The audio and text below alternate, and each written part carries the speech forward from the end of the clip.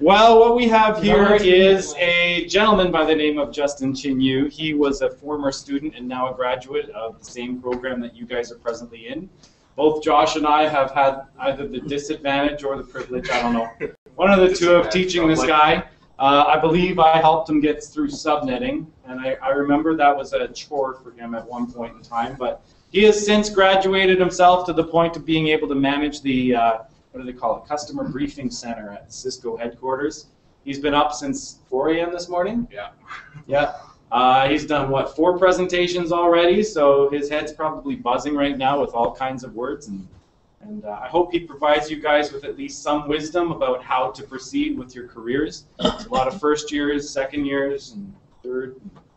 I don't think there's fourth year here, but nonetheless, you guys are able to now at least at least uh, see where he's gone, what he's up to, and uh, hopefully you guys can take something out of it. So.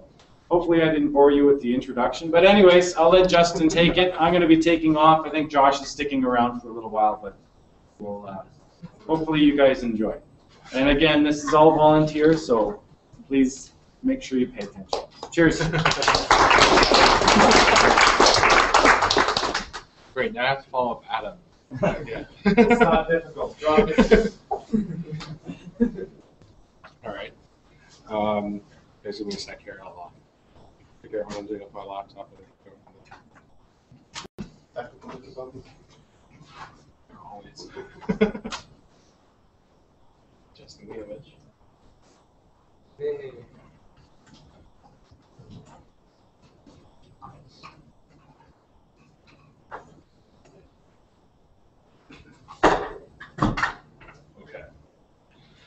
All right. So as Adam mentioned, my name is Justin Chin-You, and I'm what they call a systems engineer. Most of us think that's a made-up title. Yeah, it's it is. um, I work for Cisco Systems. I've been with the company three years now. Um, started out where you guys are today, actually, in this classroom. I think I did.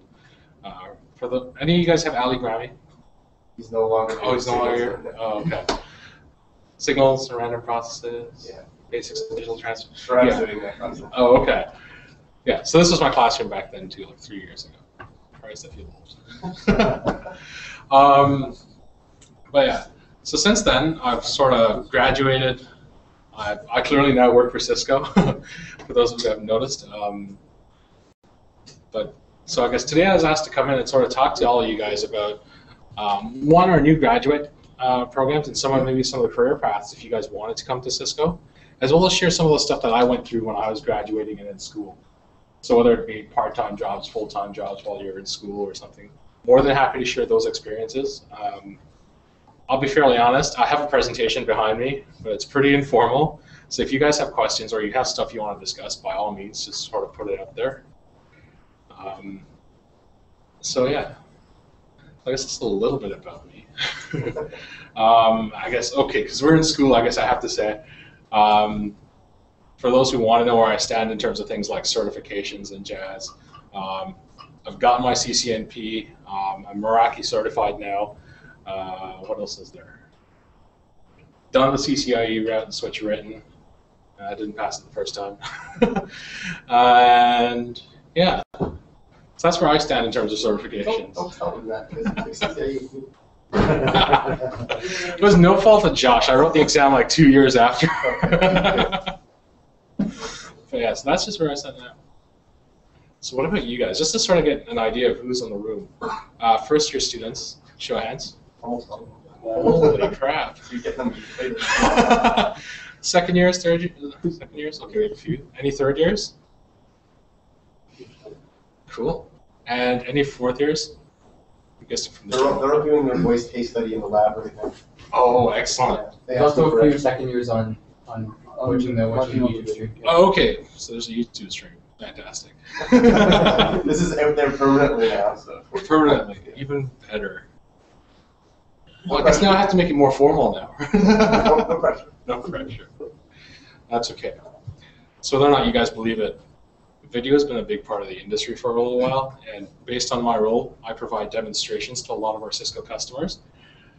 So I get I'm put on video pretty much every waking second that I walk in the front door of our office till I leave at night. which I was just telling Josh and Adam this morning. I started at 4 a.m. I'm out of the office today at 2. If I was still there, I'd be in the office till 7. So normally I'm on video calls the whole time. So I hate to say it, but if you guys don't know it yet, video is a huge part of the industry. All right. So that being said, I'm kind of curious. What do you guys want to know about? Show of hands. Don't yell. If you were, were to go back and do it again, would, what would you, any advice you would give us, or anything you would do differently, or? Anything I'd do differently in any advice? Um, I'm gonna be honest here. If I'd go back and do it again, I'd probably pay attention a little bit less. um, if I had to do it again, um, I'll be honest and say you guys are actually in a pretty good spot coming out of UIT. Um, being totally honest and truthful, um, we have one, two, three, five or six graduates from UIT working for Cisco right now. Um, those of us who did not choose to go to Cisco and went other directions now have roles um, in the information security industry, sort of various organizations, including some of the financial institutions. So one thing I'd say is, as much as when I started university, I never ever thought I'd end up working for Cisco. wasn't even a thought. And um, uh, for any of the guys I know that are working now in um, information security, we never expected to end up at financial institutions. The one thing I'd say is, as much as I know they can be a pain in the butt, um, Adam and Josh, they do actually know what they're talking about. I learned a lot from those guys. Um, and the one thing I didn't know at the time, but is totally true, is that if what you put in in terms of effort into sort of what you do now in the university and all the assignments and stuff actually will pay off in the end. I know it's not probably any anything earth-shattering in that sense, but uh, the truth is that uh, coming out of UIT, I can safely say that at the end of the program, you're pretty well prepped to sort of take on whatever you want to. It's sort of there's a good baseline. You just got to take it and turn it into whatever you want it to be, um, and that's fairly easy to do. Being blunt and honest, it, it is. Yeah. So that being said, I guess, does anybody have any objections, I guess, to the paths that I'm going to take today? So there's a few things I guess I'll go over sort of in my presentation, if you guys want. Uh, what I'm going to talk about primarily is something called the Cisco Sales Associate Program. And what this really is, it's a new graduate program that we actually take folks directly out of university and bring them into Cisco. Um, it runs every year. Uh, training is done out of Toronto. It's done globally. Um, I went through this program coming out of university, went through the program, and now they turned me, into a systems engineer. So what I'm going to share with you today is a little bit about the program. Um, we'll walk through some of the things. I'll hopefully amaze you guys with the program. It actually is a pretty good program. And then we can talk about maybe some career paths um, that you guys may want to take or not take. We go through that. So, but to start off, figure we'll talk a little bit about Cisco itself. So, a lot of times when I talk about Cisco, people always wonder what the hell is the company really about? And we're a group of people that are strictly driven uh, by the vision that's set forward by our uh, CEO. So for those who don't know, John Chambers up there on the left, he's the CEO of Cisco. Um, ironically, he's he walks around the halls just like all the rest of us, and he takes input from the entire team and develops what we call our company vision. So our goal is to one, change the way we live, work, learn, and play. Um, we also want to do things that, as much as it helps us make money, we want to make sure that we're not just making money. We want to make products that are about sort of adding value to the world, whether it's our customers or employees, as well as um, our ecosystem partners. The last one, uh, obviously talks to sort of summing up the rest, is best in the world, best for the world.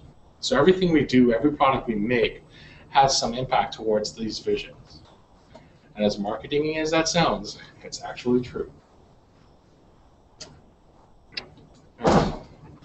So what does Cisco really do? You guys should know this.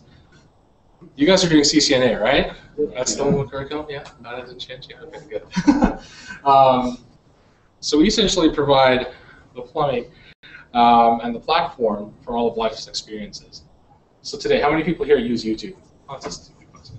You're on I was gonna say I'm on YouTube. Uh, how many people use things like Google Plus, Facebook, Twitter, so the whole nine yards? Okay. How many of us use mobile devices today?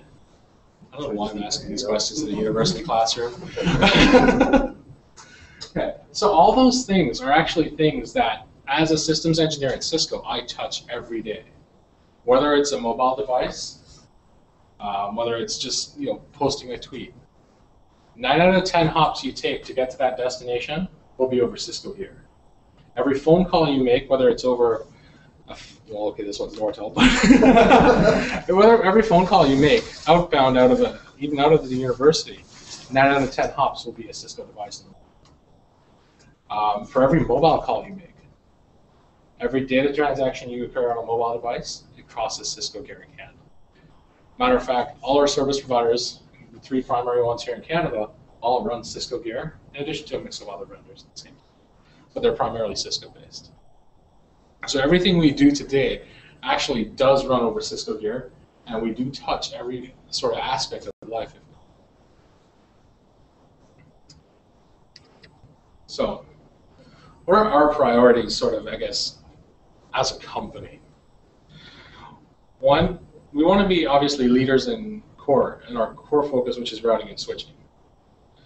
So, for those of you guys right now, you walk through the UOIT, and you guys will end up doing a lot of routing and switching. CCNA, CCNP, even in your voice class, your CCIE classes if you choose to take them. Are you guys doing any more that I don't know about? Uh, no, that's it. That's it? Okay. So a lot of the focus while you're here is around routing and switching. But the truth is we also do expand outside of that, and we do a lot of other things as well. Things like voice, wireless, um, servers. Show of hands. Who know we made servers? Few. Okay, that's actually okay. That's better than I normally get from my customers. Okay, I give you guys an A plus. um, and so all these things that we actually do reach out and touch. So overall, the way we summarize sort of what we look at as a company is through things like collaboration. So this will be voice, video, uh, WebEx, uh, things like that. Data center virtualization and cloud. For us, that's not just the networking infrastructure, but it also encompasses servers. Um, a lot of it, uh, if you guys don't know, we own somewhere something like 20% of worth of VMware. So we have we're big stakeholders when it comes to virtualization, and we've been doing it for a long time. Um, the fourth one, as I mentioned before, is video. Whether or not we like it, a lot of things that we do today involves video. You guys are using it today with YouTube. When you get into the enterprise world, you'll see video when you go to do training, when you want to do translation services, or even when you walk into a bank. We're starting to look at technologies now where you walk into a bank and you're not necessarily greeted by a physical person. You actually end up being greeted by someone who's remote. Could be in a contact center, could be in a pool of actual greeters. And they become virtual. And through that virtual technology, something, who's heard of telepresence? Okay, so I'll remember to go over that again. You're not allowed to answer. I don't know. I was gonna say this. okay, so we'll go over telepresence later. But you know, being able to leverage technologies like telepresence and actually bring them into a room such as this today. And the last one is everything we do at Cisco evolves around architectures. So a lot of people, when they think about Cisco, always think about well, if I need a router or a switch, well, you know, you sort of have a list of vendors. Cisco is usually in that list. Well, we don't actually sell just a router or a switch. And we don't just try and develop a product to solve a specific issue. What we do is we take it and we look at the entire thing. What does it impact? So, if it, for example, if we look at voice over IP today, right? Voice over IP runs on top of a network. For us, when we look at it, we don't just build a phone system for the purposes of having a phone system. We build it and we consider what the network challenges are going to be. And then on top of that, we also consider the fact that all you guys are coming into the workforce and you're going, Well, I want to use my mobile phone, right? So we extend that, and we actually bring in mobile phones and make that a part of the phone system. Same thing we do with video.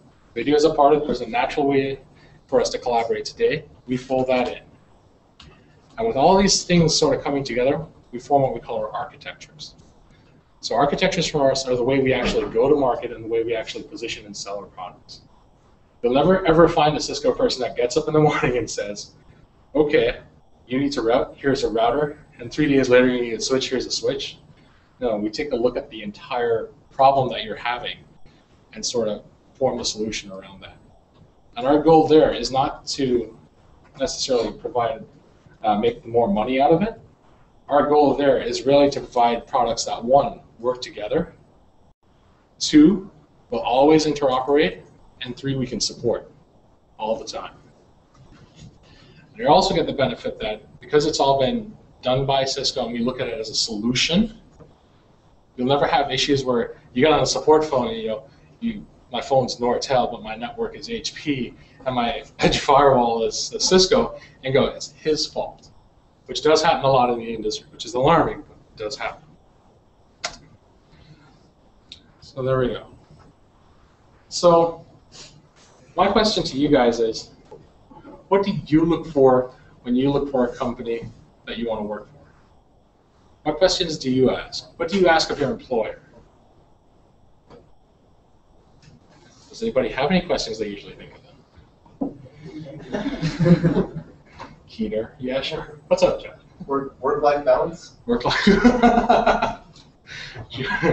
Josh is speaking that Apparently, Cisco's not doing so great for you right now. but- I'm a little bit of a different case, but okay, work-life balance. Yeah. Pay. Pay. That's that's a fair one. We all like that. Pushing me to learn more things about the industry and the technology. Excellent. That's also a good one. You can't learn, you can't grow.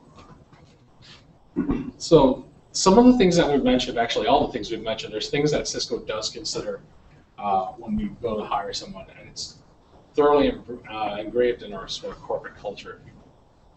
In addition to all those are things that are on the uh, slide behind me. So one is career development is heavily encouraged. Matter of fact, every four months I sit down with my manager and he looks over what I've been doing and he looks at me and says, Justin, where do you want to go? In a year from now, where do you want to be? And then he will sit down. For me, I want to move to service provider. I love service provider networks. I don't know why, apart from how. um, for me, I've always been attracted to large, complex networks, and service providers fit that bill for me. So from there, I told them that, and we actually start develop, developing a plan. It's like, okay, here's your current role. How do I get you there? So that's a huge part of our culture, and it happens for everyone. It's actually mandated. And if you don't do it, HR usually sends you a note and says, hey, what the hell?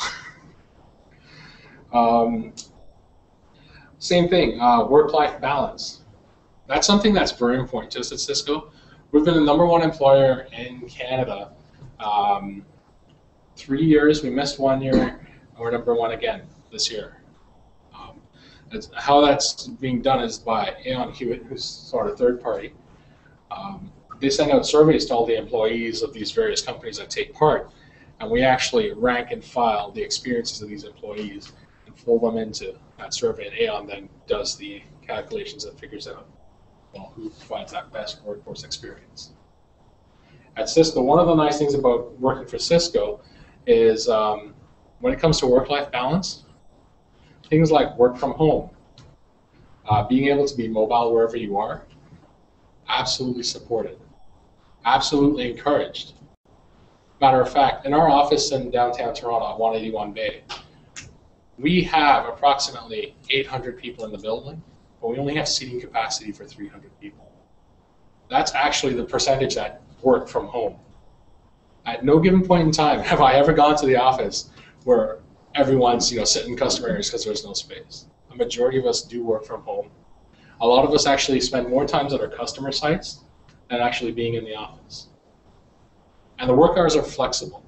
So as much as I started at 4 a.m. this morning, It also means that I don't have to show up Monday at 8 a.m. I'll actually probably be showing up somewhere closer to 1 or 2. Um, it also gives us the ability to do things uh, virtually. So, for example, uh, long weekends tend to be a big one, right? Everyone wants to get away for long weekends, but a lot of our customers do do things like downtime and upgrades during long weekends. Well, for us, that's no problem. I may take my vacation and you know run out to. I'm a scuba diver, so I always go to Kingston and jump in a boat.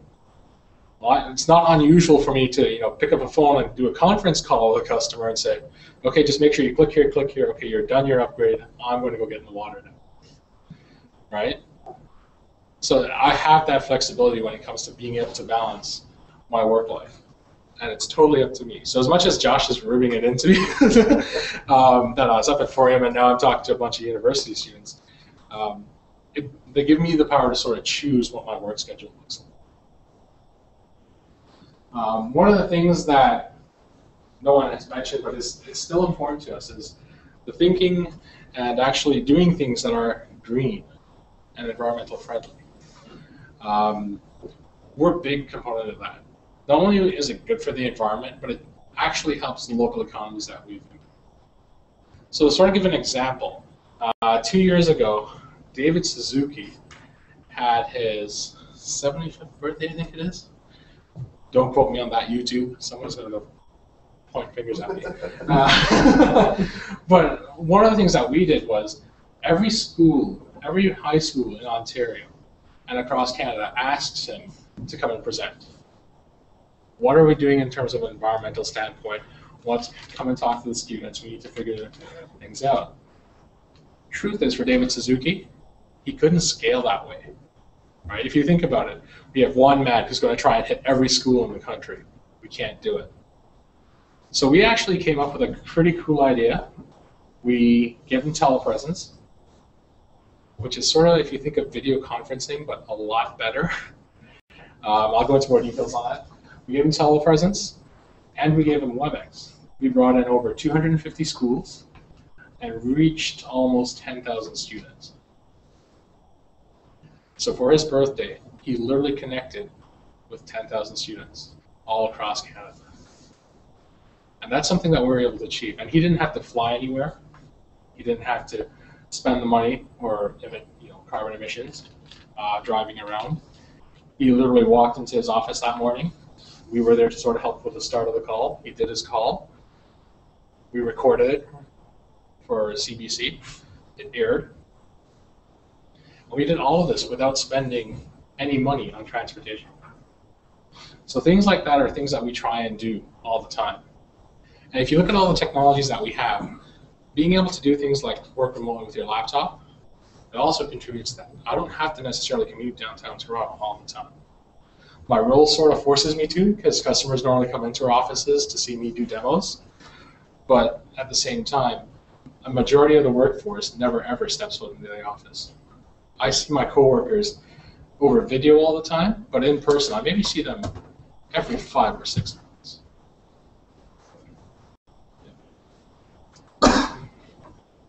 anyway, so that being said, a lot of what I've discussed already sort of touched on all these points when it comes to what our culture actually looks like at Cisco. Okay? So a lot of the things that we try and encourage across the board is not unlike anything you guys have in university. How many of you guys are forced to work in groups and teams? How about you guys? um, okay, so you guys already have to do that here as well. That's not that that, that doesn't change. Um, one of the things that we encourage, as you can probably tell from me, is open communication. We're, if you walk through our Cisco offices, no cubicle is taller than four feet. I can literally sit in the chair and look across to the person and tell them good morning. I don't have to stand. There's no 12 foot high cubicles in our office. Got away with that. Matter of fact, this whole idea, the concept of corner offices doesn't exist in our building. What we've actually done is all the, all the uh, sort of regular employees have seating areas on the outside of the building, and anything on the inside of the building we've turned into an office for a manager or a director or VP. But what's sort of cool is if the VP's not there for the day or he's not using his office, I can go in there and take over his office for the day if I, if I want to do something. So we're very open that way. And uh, we do try and sort of enforce a culture where we all get along. And the community in the office is the same. As much as when I came into Cisco, coming out of university, I didn't know a whole lot, obviously. When I walked into Cisco, I had engineers that would generally walk over to my desk every day and be like, hey, what do you need help with today? Hey, how can I help you achieve that? Or if I didn't know a question, all I had to do was send an email, and I only got 15 to 20 responses, some of them more detailed than I really needed. So there's a lot of collaboration in the office that happens, and it's not even necessarily within our local region. For the Customer Briefing Center, I'm the only engineer here in Canada. The rest of my team is all in the US. And they're not even in the same time zone. San Jose, uh, Richardson, Texas, Chicago, uh, North Carolina is in my time zone, New York's in my time zone.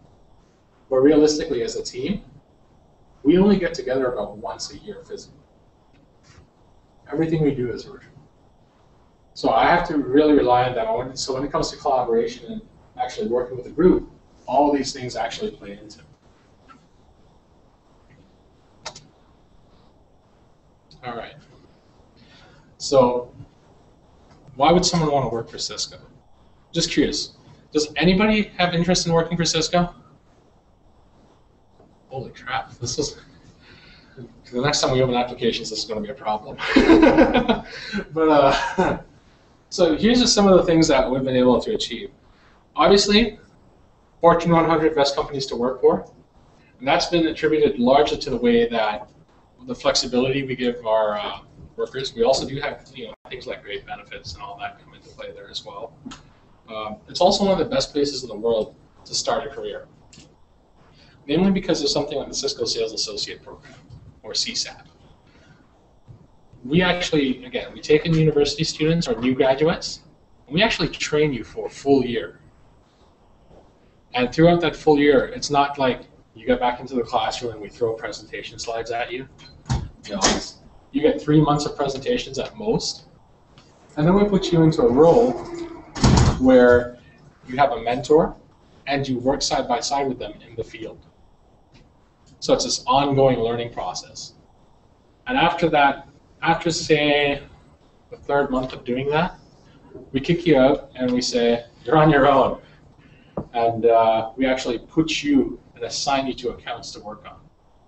So as you're still in that year, you still have access to your mentor, you still have access to all the folks that have been giving you the training and providing all that. But once you start, you start to get the idea of what the job's about. And after that year is over, we pretty much say, you're full-fledged Cisco engineer or full- full-fledged Cisco account manager. Uh, we also do have a services arm. Anybody know what I mean when I say services? Okay. So when I say, so sort of in the world of Cisco, if you will, there's pre-sales and there's post-sales. Pre-sales is all sort of the design, it's all sort of the, you know, figure out what to give customers in terms of products. And then post-sales, think of it of almost all the implementation stuff. So the guys who actually, you know, make stuff happen.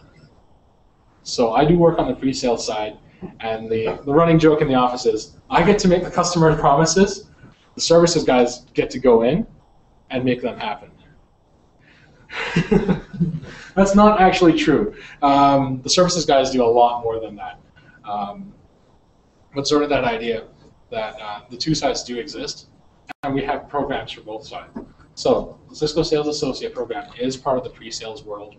There is a separate program if you wanted to be more on the implementation side. Um, you could do that as well. Um, at the moment, uh, I don't know if you remember Alistair. Alistair, who uh, graduated my year, he's actually in that program today. Yeah. So he's he's learning sort of all the Six Sigma stuff. He's learning uh, all the CCIE stuff, and he's walking into banks today with his mentor and actually starting to configure production gear. So there is that option as well. Um, a lot of people think that we're just North American only because we are based out of the U.S., but that's not true. Uh, globally, we have a huge footprint, And what I find quite remarkable is that even though we're based out of San Jose, places like China rank as some of the top employers on their side of the world. Which for me, I think that's pretty impressive, given the you know even looking at the current trends for what you know is happening between China and sort of the rest of the economies in the world, sort of becomes interesting. The other important thing is, if you notice on there, okay, so this applies to Okay, much like my year, there was only one lady in the class. um, that hasn't changed. Um, I'm still going to get in trouble for saying that now, aren't I? um, we are top 50 places for women that want to work. And I wouldn't say it's just the UK anymore. One of the things at Cisco is that we do strive for a balance between male and female populations. So if you look, if I look around our offices, as much as I have male engineers on the team, there are also female engineers on the team. And a lot of the work-life balance stuff also gets applied to them sort of within their own constraints. Um, looking through the rest of it, obviously we've won a number of awards across the board, and again, it's all global. It's nothing that's specific to a region or specific to an area. It's a very much indeed a global uh, feeling. Okay. So now I get to talk a little bit more about the Cisco Sales Associate Program, or CSAP. Hopefully this will prove beneficial. Again, if you guys have questions, does anybody have any questions, Mark? Have I bored you guys to death yet? No, not really. You're doing great. All right. So a little bit about uh, the Cisco Sales Associate Program. As I mentioned before, we sort of take you in, for this whole year, we give you this boot camp. Um, when we pull you in for that year, here's a list of actually all the training sites that we have. So no, when I pull you in, you're not going to get stuck working, let's say, Toronto. I actually ended up, when I came into the company, I may have been from the Toronto group, but I went to North Carolina for my training. Um, you don't have to go to North Carolina. We try and keep everyone in Toronto, we're closest hub to where you are. Um, but you also all work as a team.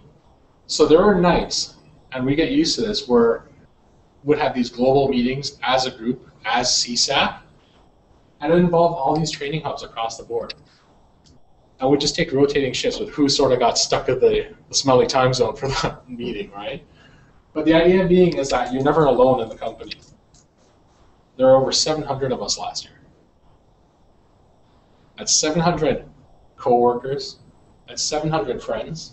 That's 700 people that you actually get to get up and talk to every time you have a problem, every time you needed help. We obviously all come from very different backgrounds. So as long as you can pick and choose, as long as you have sort of permits to work in the appropriate countries, you can actually end up in one of those hubs.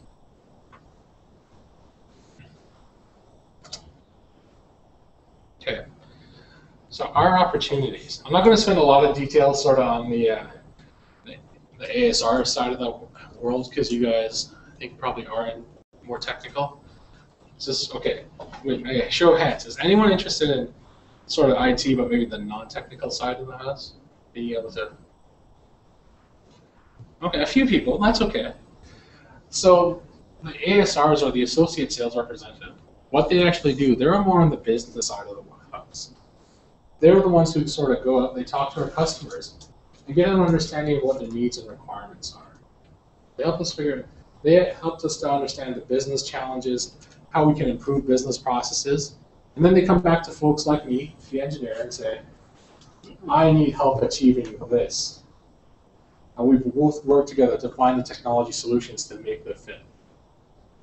That's really how the relationship works. Because I, I won't lie to you, I'm really good on the technical side of the house, but when it comes to you know figuring out how business processes are best improved, I'm not necessarily the greatest guy. I'm not. I'm not even gonna lie. I'm not even trying. But they're usually you know the ones that uh, they're out there, they're on the ground, and they really are more. Um, they're more salesy than I. Right. Um, but they work on really building relationships with the customers. They they're also the ones that even after I may do a design and help with the implementation to go away, they're always engaged with the customers after that. Whether it's you, know, you take them out for lunch or You make sure that they're happy and they're not yelling at us. Things like so they're really important to the role, and they're absolutely a part of this program. So even if you go down this path and you uh, UOIT, and I think it's a it's a pretty decently technical program, and you decide that you know what I've gone down this path, but now I hit this roadblock where I realize I don't necessarily want to be so technical. It's cool I can understand the technology, but maybe I want to be more of you know the guy who's able to work with people. You uh, tend to be more hands off in terms of gear configuration and stuff, um, but still be able to relate to people. There is an option for you, absolutely. Having that technical background that you get from UOIT and moving into a role like an ASR or an account manager, it's actually a huge plus. And what's sort of neat is you don't even necessarily have to have technical backgrounds. From the ASR perspective, um, a lot of folks that come in are business, even from the engineering perspective. When I went through the program, I had somebody who did their undergrad in biology go through the program and become an engineer. She's actually sitting in North Carolina right now, and when I need help, I reach out to her and say, "Hey, Audrey, I need some help figuring out my collaboration stuff," and she'll actually be the one that responds and helps me out. So even if you're not necessarily technical, this program could be an option. All right. So the ASE side. This is a side that I obviously know a lot better. so as an associate systems engineer, um, one, we obviously have to be strong collaborators. We're not just working with a customer, we're not just working with the sales representative that's there. We work with all the engineering teams, the R&D teams, uh, the developers, we have to be able to work across all these teams. We also have to bear in mind, again, we're a global company. We have to be able to work across countries, across nationalities. So that's really important. Um, I have to admit, one thing I love about being an SE is that when I get up in the morning, I never know what's coming my way. Customers sort of pitch me these wild solutions some days of the week, or they'll call you up and have these interesting problems. You've got to be able to sit down and really work with the customer to understand what's happening. And it does take a fair bit of motivation. So if you're passionate about, you know, not only just the technology, but being able to help people, it's a really good role to have. Um, and obviously, one of the nice things about working for Cisco is that we're always on the cutting edge. Um, things, for example, that we're using today. LTE, we've had in our labs for almost four years. Uh, when we look at where we are today with the concept of cloud in terms of data centers and being able to uh, provide what we call elastic compute, we've been doing that for almost, well, since 2008, 2000. So all these things is you're always on the leading edge. I actually have a gentleman in my office who gets phone calls today from our what we call our TACing or Technical Assistance Center. That's sort of our support arm, Cisco. They're the people you call when your your switch won't boot up. You call them and they help you figure it out. They'll call this gentleman in my office and go, Vince, you wrote the code six years ago. What's it actually doing? And he'll actually sit there and be like, dude, like, six years ago, hang on. And he'll have to go back through his notes and actually figure it out. So we're always on the extreme bleeding edge at Cisco. I'm not going to try and hide that. There's stuff that we work on that really we don't always see come to market the next month, the next year. The things we work on usually end up coming out to market five or six years down the road. So it sort of can become quite interesting what we end up doing. And obviously the last one is you have to have some motivation to do technical certifications. Um, sort of as much as I look at certifications and you know probably a few others go, well, are they really important? Are they really necessary? I'd say don't even bother asking those questions. What the certification proves isn't necessarily that um, your knowledge level or that you're capable of doing a job.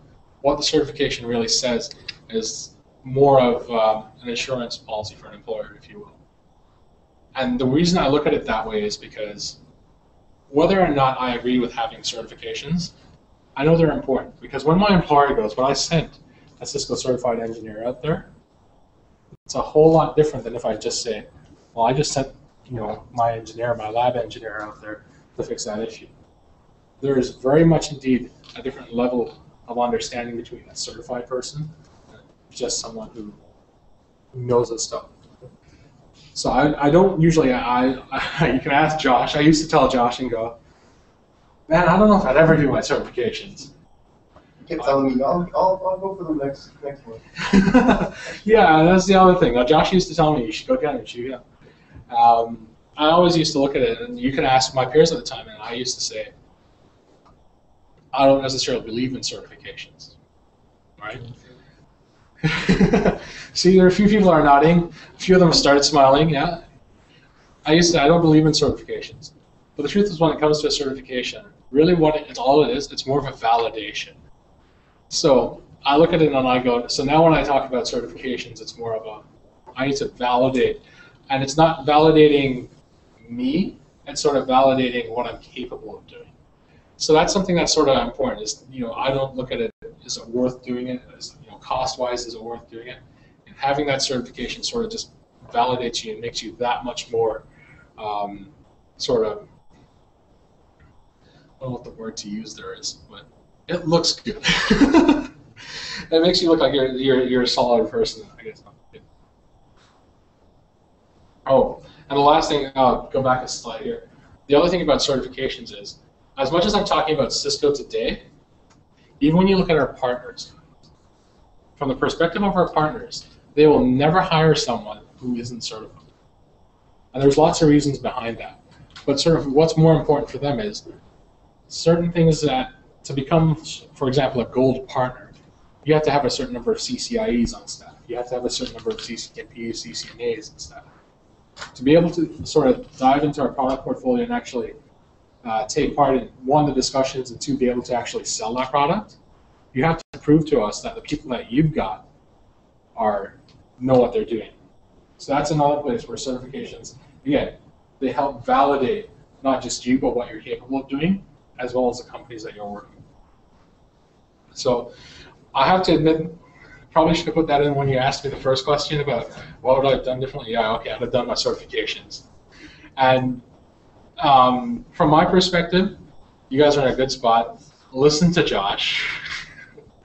when you finish your CCNA courses, go write the exam. It is a ton load easier than waiting a year or two years after and trying to write that exam again. Um, matter of fact, I'll be quite honest and say that again. I put my certifications off for a while. Um, when I went to write the exam the first time around, mentally, I was all over the place. I actually ended up going back over my university notes and going, okay, what do I got to do and sort of refocusing before I actually sat down and wrote the exam the second time I passed it.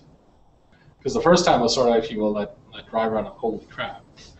Um, not to say that it won't happen uh, when you go to write it the first time ever, period.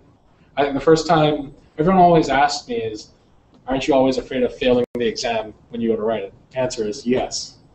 But at the same time, my recommendation to you is go write the exam and go fail it. The reason being is not so much I want you to fail it, it's not so much I want you to go waste money on it, but what it actually does, it helps you to understand the knowledge that you need to have, right? So for example, you guys will go through the CCNA courses this year, for first years. Um, second years, I don't know who are the second years. We're doing Route and Switch. For, we're doing Switch right now. Doing Switch right now? Okay. So, or you go to do your CCNP exam. I'll be honest with you. What happens, sort of, I think, for all of us is if you write it and you fail it the first time, it helps you to understand, put everything that you've learned into perspective. Because initially, how many of us today, if I said go write the CCNA tomorrow, would immediately take up the CCNA books and try and cram all of that? Show of hands. Exactly. How many of us would actually sit down and say, okay, do I understand the concept? Show of hands again. See, there's far fewer, right? And that's what I'm saying. If you and write the exam the first time, if you fail it, being genuine with you, don't feel bad. Matter of fact, most of the engineers at Cisco, we all fail the exams the first time around. Matter of fact, my manager, who's a triple CCIE, the CCIE, so he's got three CCIEs. Um, he went to do a recertification test, and he picked what he thought was the easiest one that he's been doing all day long with me, route and switch, and he failed it. And he went back, and he failed it again. And he went back, and he missed it by a point. And so, you know, these are things that happens not just to you guys; it happens to all of us. Um, so again, that's why I say everyone looks at it. Don't be afraid to write the exam. Seriously, don't be. Um, a lot of there's some people that write the exam and yes, on the first time they pass it. And I think that's awesome. But at the same time, a majority of the people, we will fail it more than once. Uh, for the record, my manager did actually go back and write the exam and he passed it. Uh, mind you, he also put in a little bit more extra time this, on the last pass. Um, but yeah, so there, these things do happen, and we do even. I even have partner engineers that, you know, they walk into our office every day. They're doing the stuff every day, more so than I am, right? Where they're out at customers doing the implementation, doing the design, actually physically cabling and configuring, and they come back and look at me and go, "Man, I have six months to pass this exam. I failed it twice already." So realistically, whether or not you pass or fail, yes, it sucks because yes, there's a dollar amount attached to it. But at the same time, don't be afraid. All right. So this just sort of summarized um, what I've you know already told you guys a little bit about the CSAP program. Yeah, we start with uh, training the first couple months. After that, we put you in an on-the-job experience type role. And those options are actually pretty interesting. As an engineer, where you get put is usually something like our customer proof of concept labs.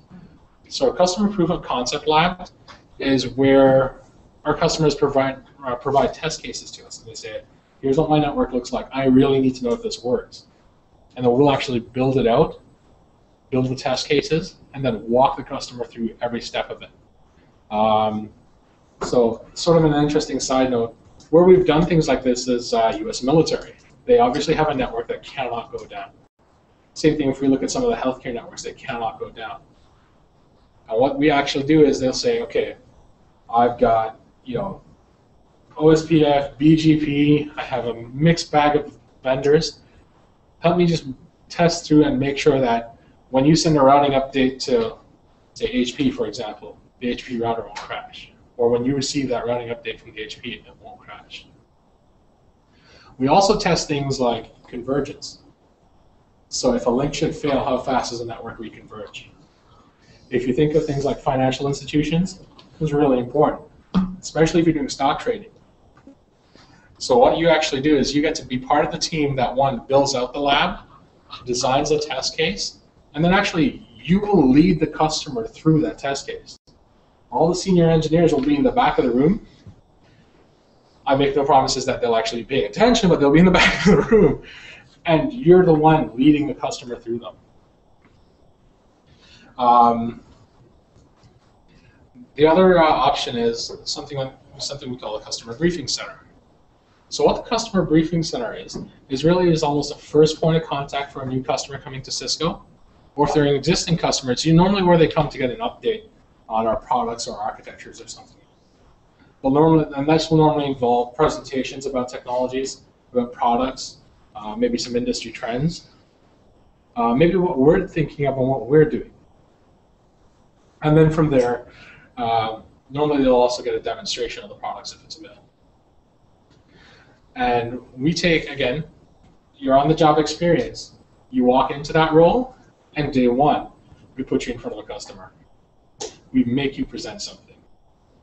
Um, and after that, depending on how long the presentation is, we'll also make you do the demonstration to that customer. So now you actually, you're the one leading all the conversations. You things like asking the questions that need to be asked, answering the questions that need to be answered, as well as helping them sort of shape what their company vision looks like moving forward in technology. So there, when we talk about on-the-job experiences, we actually do put you in roles that we put our engineers through every day.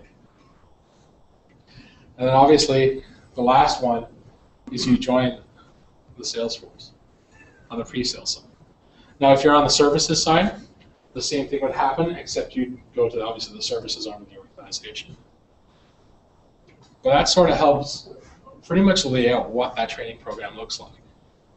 Do they, do they still send, um, people to TAC at all? Did you do any time at the technical assistance? I so the one nice thing about Cisco is that it's not part of the program that you'd be a part of the technical assistance center, but you have an option. Just because you come in on the pre-sale side does not mean you cannot go to the services side. I can look at my manager and say tomorrow, um, here's what I'm thinking about doing, and I want to go to the advanced services side. And he'll look at me and go and help me get there. So I have the ability to move around the company any which way I'd want, uh, whether it's move to business, implementation, all that. So within this program, you have that same option. When you join the team, you can say, I want to work federal government, I want to work data center, I want to work voice, wireless. You have those options. And for me, I spent uh, two weeks in TAC. Actually sitting there on the phone with a TAC engineer over my shoulder, answering customer questions, helping them solve their support issues. So you can do that. It's not mandatory, it's not part of the program anymore. What is sort of mandated through the program, though, is that you get things like your CCNA or CCNP. We do have optional certifications as well, uh, things like the CCDA and the CCD. So for those who don't know, the design, the CCDA, the Design Associate, the DEP, Design Professional, those are essentially the CCNA, CCNP, except from a design perspective. Yep. While you're in the program and like you're doing the certification, are they paid by Cisco? Do you have to? Like, It is a paid position. It absolutely is paid. So once you become part of this program, it's not like uh, it's training or we actually pay you. You're actually a full-time employee, so you get all the benefits, you get all the pay, and everything else that a normal employee would get. So you're 100% part of the company. The only benefit, Let's just say again. Oh. If you go, sorry, if you go through this program, is there some, what are your obligations to Cisco? So when you go through the program, your obligations to Cisco are uh, upon completion of the program, it's a two-year you're staying with Cisco, uh, or there's a monetary fine. Because we, we do invest quite a lot in the students. Uh, we do pay for the certification exams. We pay for all the instructors to come in, and we actually so we do invest quite heavily. So all we ask is you know to sort of build back some of that time.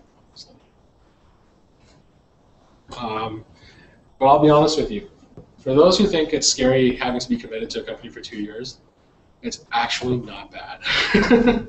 Especially when you have um, you know coworkers you can lean on. Everyone in the office is pretty easygoing. There's no complications. It actually becomes quite an attractive. Um, be. Uh, this program, is it, you know, can you be unsuccessful with this program and Yes. So there are milestones that sort of get set. Um, there is, you know, things like we put you through training. You have to pass a certain number of assessments. So it'll be things like um, one will be like paper-based exams like you're used to today. Um, there will also be assessments where uh, Josh was your uh, instructor. Josh could then become someone who says, "Okay, we're going to do a role play today," and we'll actually put real engineers who've gotten a customer issue that week, put them in the room with you, and say, "Hey, play through the scenario. What would you do different? What products would you position? Uh, how would you solve the challenges that come up?" And actually give you a customer-based scenario to go through. But the nice part about it is, it's not like you fail one and then you're out. There's actually there's the way it's balanced out. I think I don't remember all the details off the top of my head, but you actually get there's a number of strikes, and it's not like three and you're out. No, there's there's actually a lot of thought and process behind it. So, you know, everyone has bad days, everyone has stuff. That's just the real world. We're not going to try and penalize you over one exam or something. Uh, what about presentation skills? Do they work on presentation skills as part of the program? Um, I know they used to video videotape you doing a presentation and then critique it. Do they do that? there is a little bit of presentation training. Um, we do get critiqued all the time. I don't have my presentation skills gotten any better since? So much better. yeah. So one is when you're in the program, you're always presenting, you're always being challenged, and they always push you that little bit. And that's the one nice thing, right? It's not like everyone comes in and gets the same instruction. No, if you're doing slightly better than everyone else, we're going to challenge you a little bit more. And as you sort of, we force you to grow that way. Um, so for me, when I walked the program, I was absolutely terrified of giving presentations. Couldn't do it to save my life. and um, day one was here's a microphone, here's a Cisco shirt, get on the stage and answer the question. And the question was, um, what are universities doing to meet the current technical demand needs of the industry? So coming from UOIT at the time, I generally finished school like three months before. I had to go on stage and answer that question. So it's it sort of becomes interesting uh, some of the, the things that we do, but you know again, we we don't do it to sort of force you and you know scare you. We do it because we want you to grow and we know you can do it. It's not going to be. It's not like we're going to say. Uh, we're going to challenge you because we know you can't do it and then break it out. No, it does not work that way. it really doesn't. And if you do come across a challenge that you can't handle on your own, it's completely okay to reach out to the team and go, hey guys, I need help. I'm like, that happens to me every day. Um, prime example, I had a customer three weeks ago ask me uh, a question about service provider dial-up access. And you guys already know at UIT, how many times do you talk about service provider dial-up access? You're not healthy. Truth is, you probably never will come across that ever. Period. so you know, and it's okay to go ask. You know, hey guys, I need help with that, and we absolutely expect you to do it. Um, we don't look down at you for not asking questions. We don't look, well, okay, if you don't ask questions and you need help and you get into trouble, yeah, we're going to look at you. Well, why didn't you ask? So coming from UIT and going to this program, how, how prepared would you, would you say you were coming from UIT? Like, were was it, I'm assuming it was sort of overwhelming at first when you started? Um, when I started the program, I think the one thing to note is we do expect you to walk into this program knowing absolutely nothing about network. So, and actually, when you walk in, coming in from UOIT and you went to this program, you'll probably actually find yourself mentoring, teaching, and bringing the others up to speed. Um, I think when I talk to all six of us who've gone through this program, we all said the same thing.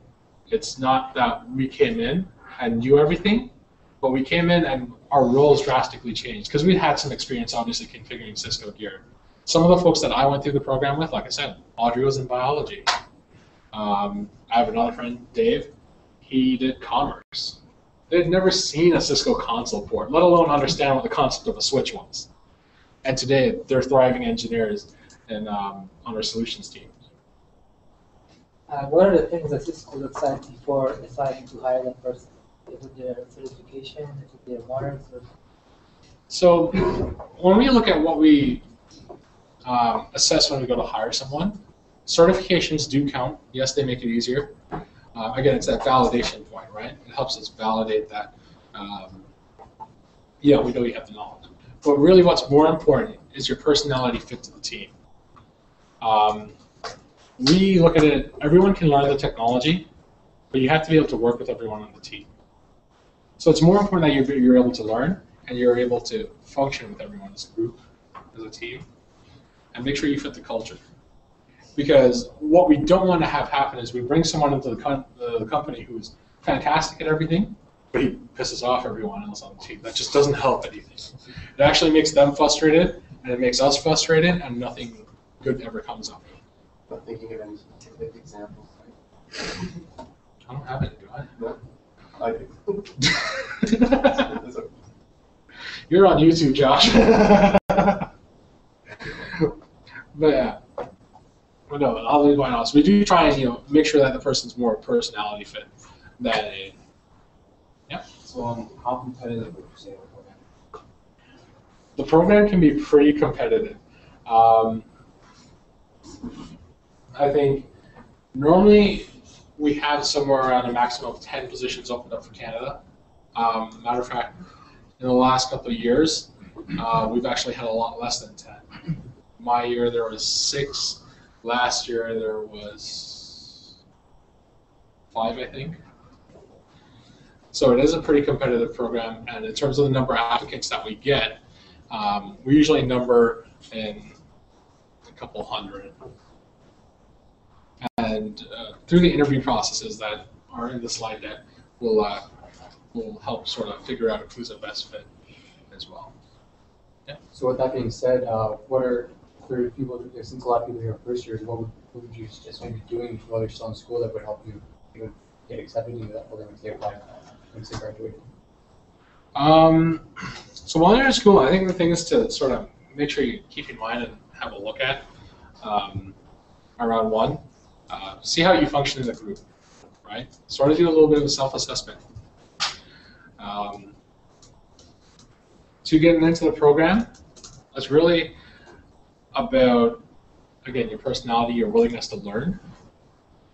Um, if you have certifications, again, that's a plus, that's a leg up. Uh, going through the program, you'll have to do them anyway. So if you had them already pre-done, that's actually uh, sort of an ace in your back pocket, if you will. The last one is obviously um, don't just be narrow focused on networking stuff. As much as we're Cisco, we do a lot more outside of. So I know you guys, yes, Cisco's a big part of your uh, course curriculum, but don't forget the other stuff's actually very important as well. It helps round you out and make you more uh, capable and adaptable to what you want.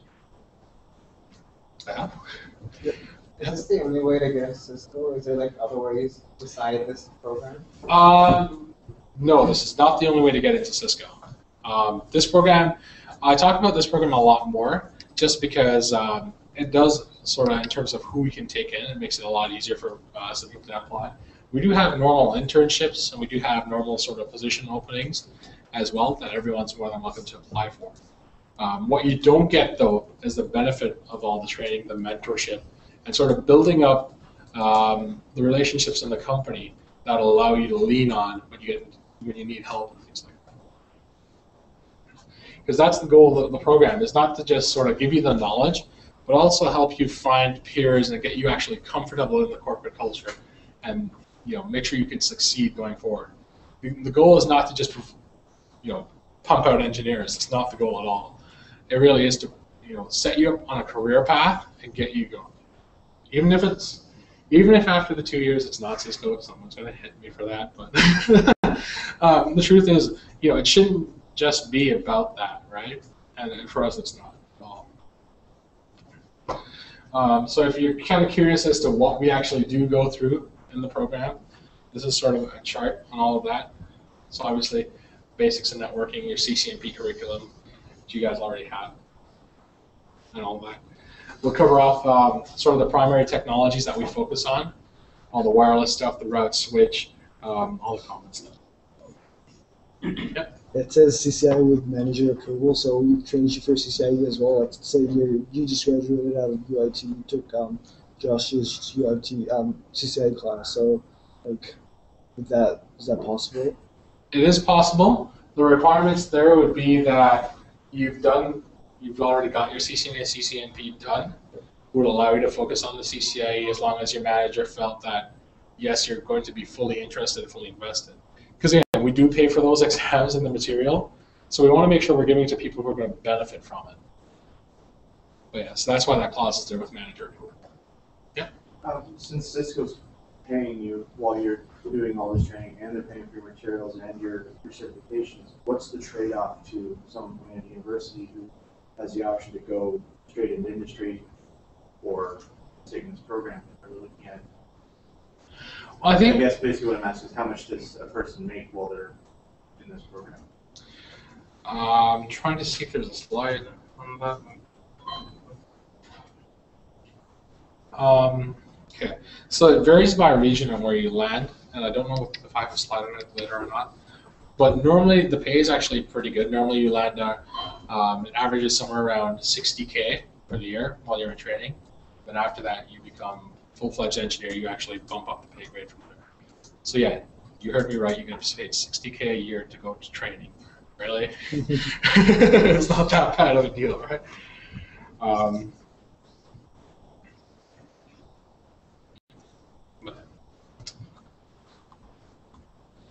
all right. So some of the ASE stuff um, when it comes to the on-the-job uh, experience side of it.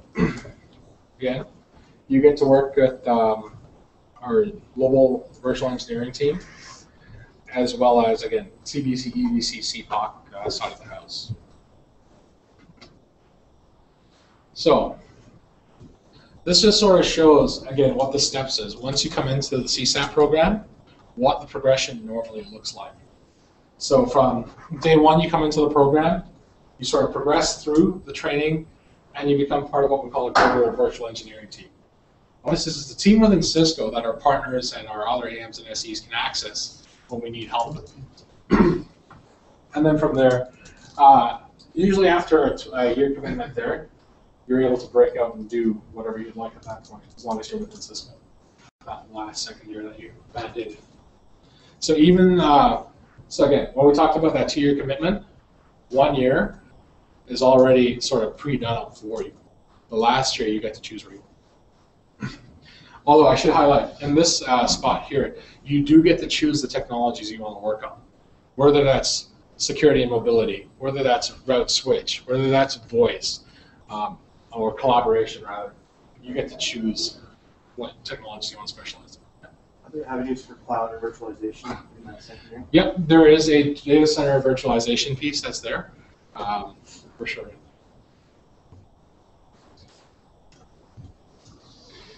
Okay. So that being said, you guys have any questions? Or have I bored you to death now? I think we asked you a lot already. That's the thing.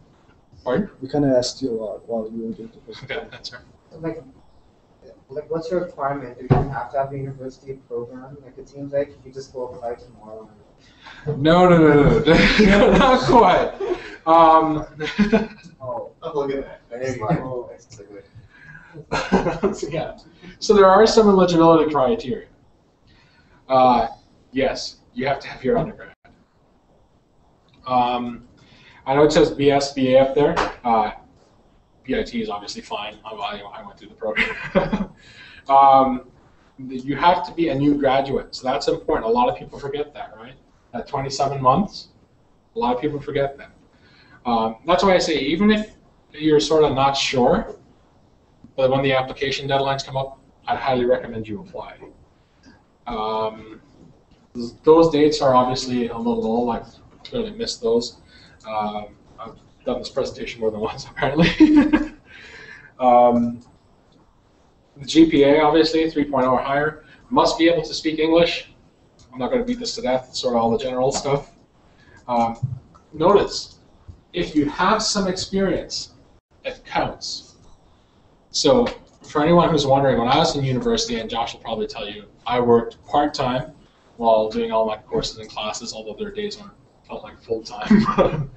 um, a lot of folks in my years did that too, um, where we sort of found whether it was doing support, I did help desk, I was an IT analyst for a nonprofit. Uh, you sort of get involved and just have some experience working on things. And as much as um, even if you're not even able to do something technical, just having some experience where you're interacting with people and stuff obviously is a benefit. Technical is preferred. um, so to give an idea, I guess, of what you know someone who's normally successful throughout uh, the program looks like, is obviously all the basic stuff, right? Again, being able to communicate, being able to sort of solve problems on your own, um, be people oriented. Again, globally as a company, we have a lot of employees. Um, I think we're in the neighborhood of 80,000, 90,000 people globally. Um, so it's important that we're able to uh, communicate and collaborate. You have to be able to work on a team. And sometimes you're on the team and you pilot, and there are other times you're on the team and you're just along for the ride and getting stuff done. You have to be able to play those roles. So again, key thing in universities, if you can try and focus and become sort of more of a well-rounded type individual, it's a huge help. Uh, because there are days when you'll have to step up and lead a team. There are days when you get to, you know, just be a part of the team and execute as well. Um, but yeah, and I think all the all the other stuff that's there sort of applies to any role that you have. You know, being professional, for example. I'm surprised that's on the slide. yeah. Anybody have any questions about these, or yeah. nothing jumps out as alarming, shocking? See, I told you it wasn't that hard. um, but yeah, yeah. So we do provide benefits. You are a full-time employee while you're in the program. So again, benefits, the rewards, all of that applies to you as well. It's not like, yeah, he's in training, we don't work. No, it does not work that way. You are part of the company, you're part of the team, and we expect you to work and deliver, and you get the same benefits as any one of us that's been there. Matter of fact, when I sit down and I work with our senior engineers, they don't look at me as, oh, Justin, he just graduated three years ago. No, it does not work. They look at me and go, Justin, here's what we need you to do. I don't know what you're capable of. Can you fill me in? And we actually work together and knock out projects. A uh, couple of new examples for me that comes up. Who'd heard of the Grey Cup Tour? The train Grey Cup? My wife, it's actually a story about it went up on the front page of UOIT this, this morning. Really? Yeah, I had, I had published a success story about Rohan. Nice. Yeah. Excellent. Yeah, so for those of you, yeah, okay, none of you. no, Rohan, I just realized that. Um, Rohan was the year behind me. He's now working at Cisco as our um, system engineering lab administrator. Um, he joined the company, was it August last that. Something like August last year.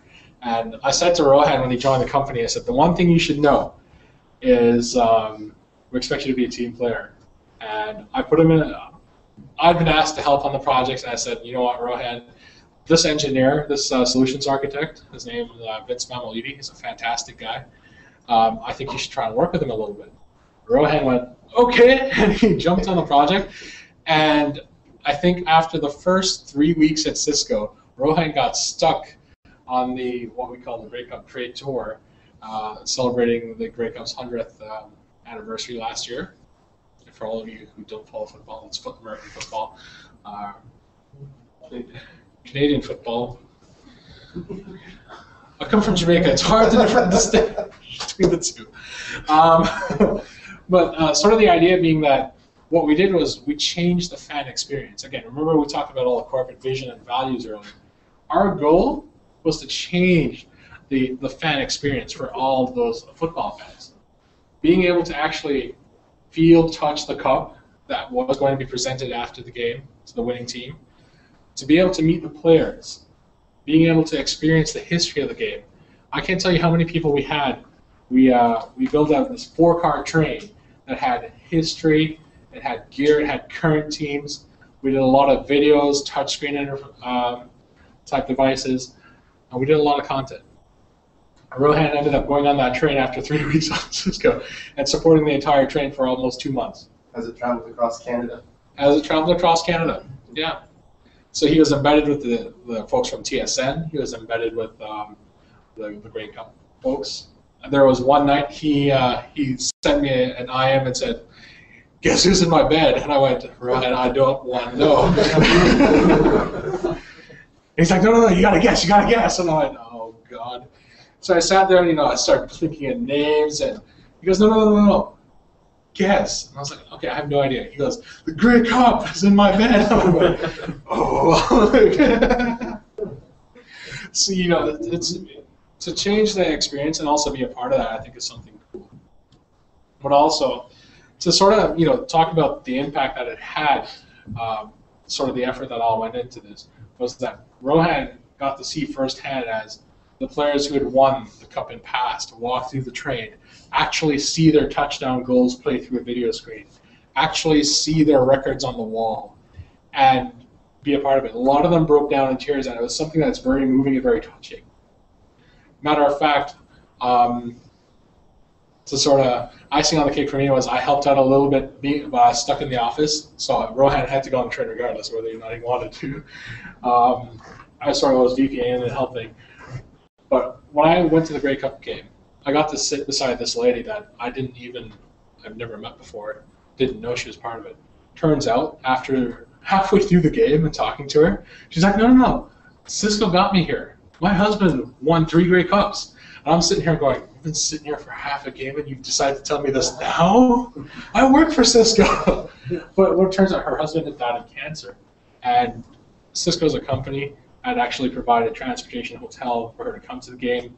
The CFL was nice enough to actually help get her tickets and bring her into the game. So we actually provide some of that experience changing. So, so generally, when we talk about our company vision, you know, best in the world, best for the world, we do legitimately mean it. And it's things like that that I think makes Cisco really cool. Um, but yeah, I forgot the point I was trying to make now. But yeah. Let's see, what else do we have? So earlier we asked, I was asked, you know, how do we sort of go through all the candidates? Uh, this is how you go through three rounds of interview. Uh, there's sort of various rounds. So the first one is a, vi- a video resume submission. So we normally it's uh, make a video and you know, pen's example. Why would I want to use a pen or something like that? And, uh, I got to do. Uh, don't know if- anybody ever heard of Flip Video? You're not allowed to answer.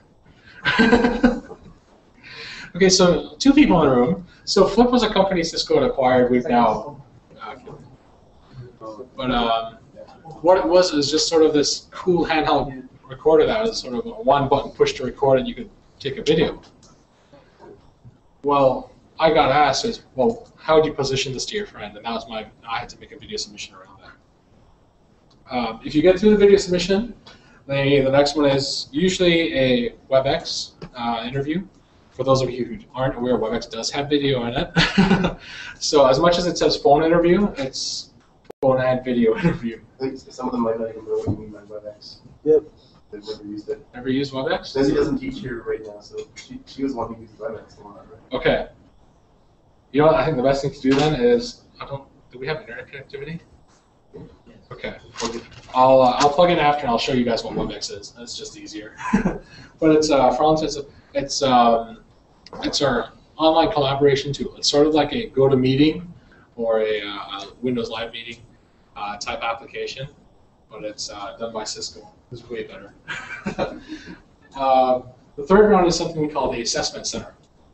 The assessment center is something that's a very full and a very intensive day. I remember when I went through this, um, we bring you into the office, and what we do is we sort of give you things like you need to go through a sales simulation, you got to do a presentation, and then there's a technical assessment, like an aptitude. And no, it's not difficult. If you know what a router and a switch is, normally you're okay. Um, and we do provide you the study materials ahead of that assessment as well. Um, after that, we get you an offer. By onboarding, we simply mean we give you all your Cisco accounts. We tell you how to navigate the world of Cisco, and then we kick you into classes and say go. so it's um, just to give you an idea what's there. So for anyone who's interested, um, it's obviously online. We have Facebook groups. We have um, obviously the online portal. If you if you notice, instead of going University CSAP and you just go University Connection, we do actually post our internships there as well. So we do do internships outside of the Cisco Sales Associate program. Currently in the office, uh, there are actually two interns working with us. One of them's a electrical engineer, or is doing his electrical engineering undergrad. The other one's doing environmental engineering, and uh, he's working with us on a number of capacities. And when you're an intern with Cisco, and actually Joshua can shed some light on this because at one point Josh was an intern at Cisco. Um, you don't, we don't bring you in and you're an intern. Go, you know, wash the tables, study the book, write the, write the help guide for a customer. We actually get you involved with everything. So the two interns in the office at the moment have actually done three customer engagements with me. They've helped me build demos. Um, right now, they're working on rolling out a new solutions altogether that I don't even know how it works. So they're sort of on their own doing it. So even from the um, perspective of an intern, our goal is to give you beneficial stuff to do and make sure it's stuff that will benefit you. Um, trying think. Yep, we have a Facebook group. Yay, Facebook. Um, but yeah, so that's the end of the slide deck. Pardon? You guys have any questions? Yeah. I just want to see slide back, it says one of the commitments to the program is being willing to relocate. Yes. If, Toronto got its center, is that where we'd be asked to relocate to, or? You wouldn't necessarily ask to be relocated to Toronto specifically unless you were. Normally, uh, this presentation doesn't just get delivered to within Ontario; it gets delivered to Calgary, uh, Nova Scotia, all, all over. So realistically, it's more as long as you're willing to move to one of the training centers for that year or two years, and then you can reach back out. It's not. Uh, it's not necessarily us asking you to permanently relocate. So if- we apply for the program, are they gonna ask us to go to North Carolina randomly, or Um, is that an option that we have? So normally, uh, if you apply, you get you normally stay in the host country. Um, the reason I ended up going to North Carolina was at the time the Toronto Center was not open. So for me, it was different. I did have to go to the U.S. I spent some time in RTP working in the customer briefing center there, and then I got pulled back to Canada. So we do try and make sure you end up at least in the host country that uh, you're originally from. We're not trying to ask you to move Earth there. you pick up your life. Some people do have, but you, if you move to somewhere and you decide you like it, absolutely the option is there to stay. There's a question. From, oh. Yeah, um, does Cisco provide the living expenses if they ask you to move somewhere, like for two years? We will help you to move um, in terms of if you, like when I went to North Carolina, I got um, you know, X amount of dollars to help get me there. Um, but in terms of you know subsidizing rent and stuff, no, that doesn't happen. Um, yeah, that's another point. But you are paid, so um, that's usually not that much of an issue. Uh, for the process to apply for the CSAP, could you clarify the part where you have to submit the video? Like, What do you, what exactly is that for? Um, like in terms of content? They ask you to do that, right? It's, they submit Yes, they resume yeah. and So then they contact you. yeah. So normally, if you sort of get through the resume screen, Okay. the first thing we do is we'll send you um, send you this to-do list for this video, and what normally happens is it'll say, "Here's your scenario," right? Right. Um, you, and then you record your solution to the scenario, essentially. So we give you the information that you need to make sure you put in the video. We give you uh, what the objective is and all that, and then it's up to you to sort of deliver on. So is this like a, just a networking related scenario? Um, not necessarily. Yeah. Um, for some of us, uh, when I did it, um, when my when my year did it, it was about, hey, how would you want like your friends are looking for a video camera, um, you you have a flip video, you think it's awesome, sell it to them. So my so my task was to essentially tell my friend about this flip video and why they should get it, and what I think is great and awesome about it, and all that stuff. And you know about the product ahead of time? Um, well, so normally we give you the scenario, and you get like a week to do that research and sort of build it out. Um, it is a very realistic scenario because I won't lie, at Cisco, we have more SKUs than Walmart. we really do. So there are many days where a customer will ask me a question, and I'll go, I gotta actually go look up what that product actually does. And they'll expect a presentation the next day on that. so it's uh, obviously we don't go to that extreme, but it's also just making sure that uh, you know you're capable of handling all of stuff. Right, you got a question? Uh, I was just asking if, if they, if you want to move, can you move? Um, to my knowledge, at the moment, I don't think so. But I'd have to, I'd have to go back and ask. I, I, I generally, nobody I know has uh, actually wanted to go somewhere and Um, I think after the program, could you do it? Absolutely. Um, but for the program specifically, I'll, I'd have to find out. Um, I'll, I'll leave you a card. And you can send me an email and just make sure I remember to get an answer for you. Since most of us are first years here, and there's a long time before we actually apply to this program, what are steps we can take to get an internship within Cisco? Since I know we have to do the capstone project in third year, so as a substitute. Ah, that's an excellent question. All right. So one of the things I'll say is that, um, believe it or not, you guys are obviously really closely tied to Cisco. So make sure you keep in touch with people like Josh, who also keep in touch with people like me. I don't know why. I keep trying to chase them away. It just doesn't work. He's got for punishment, I guess. um, but yeah, so in terms of, you know, I'll be honest, at UOIT, you're very closely tied to Cisco. Um, again, there's six of us who've left this university, now work for Cisco. Uh, Josh is always in contact with us. Um, so one, you know, keeping in touch obviously helps. Uh, you guys have somewhat of a direct pipeline, and that's an advantage to you guys because a lot of other schools don't. Um, the other thing that I'd say is uh, you guys are in first year now. One of the things that you know I've been hinting at but haven't actually blatantly told you is coming to Cisco, we obviously expect you to pick up and you know drive the responsibility, drive the initiatives, and have all that. So my advice to you is if you want to get an internship at Cisco, is you know make sure that in addition to sort of staying in touch with all of us, just make sure that when you work in your group projects and you're working in your team stuff and all your academic stuff, make sure that you're on top of that as well, because that is a factor. Um, obviously, we do require the 3.0 GPA to get into the CSAP program. We do consider that quite heavily. You don't want to, you know, leave things to last minute and getting crunched on it. Um, as well as just um, ensuring that, I guess, you keep your eyes open. Um, as much as Josh is in touch with me all the time, I don't necessarily have all the information about all the internships available. So just keep in touch with sort of our university connections page. Uh, make sure that's an option there. Um, but yeah, and then from the perspective of what to do in university, um, one of the things that I think I benefited from, quite honestly, was those part-time roles that I had. And they don't have to be huge part-time roles. Um, I won't lie, when I was here, Josh can tell you, I went a little bit crazy on the whole part-time thing.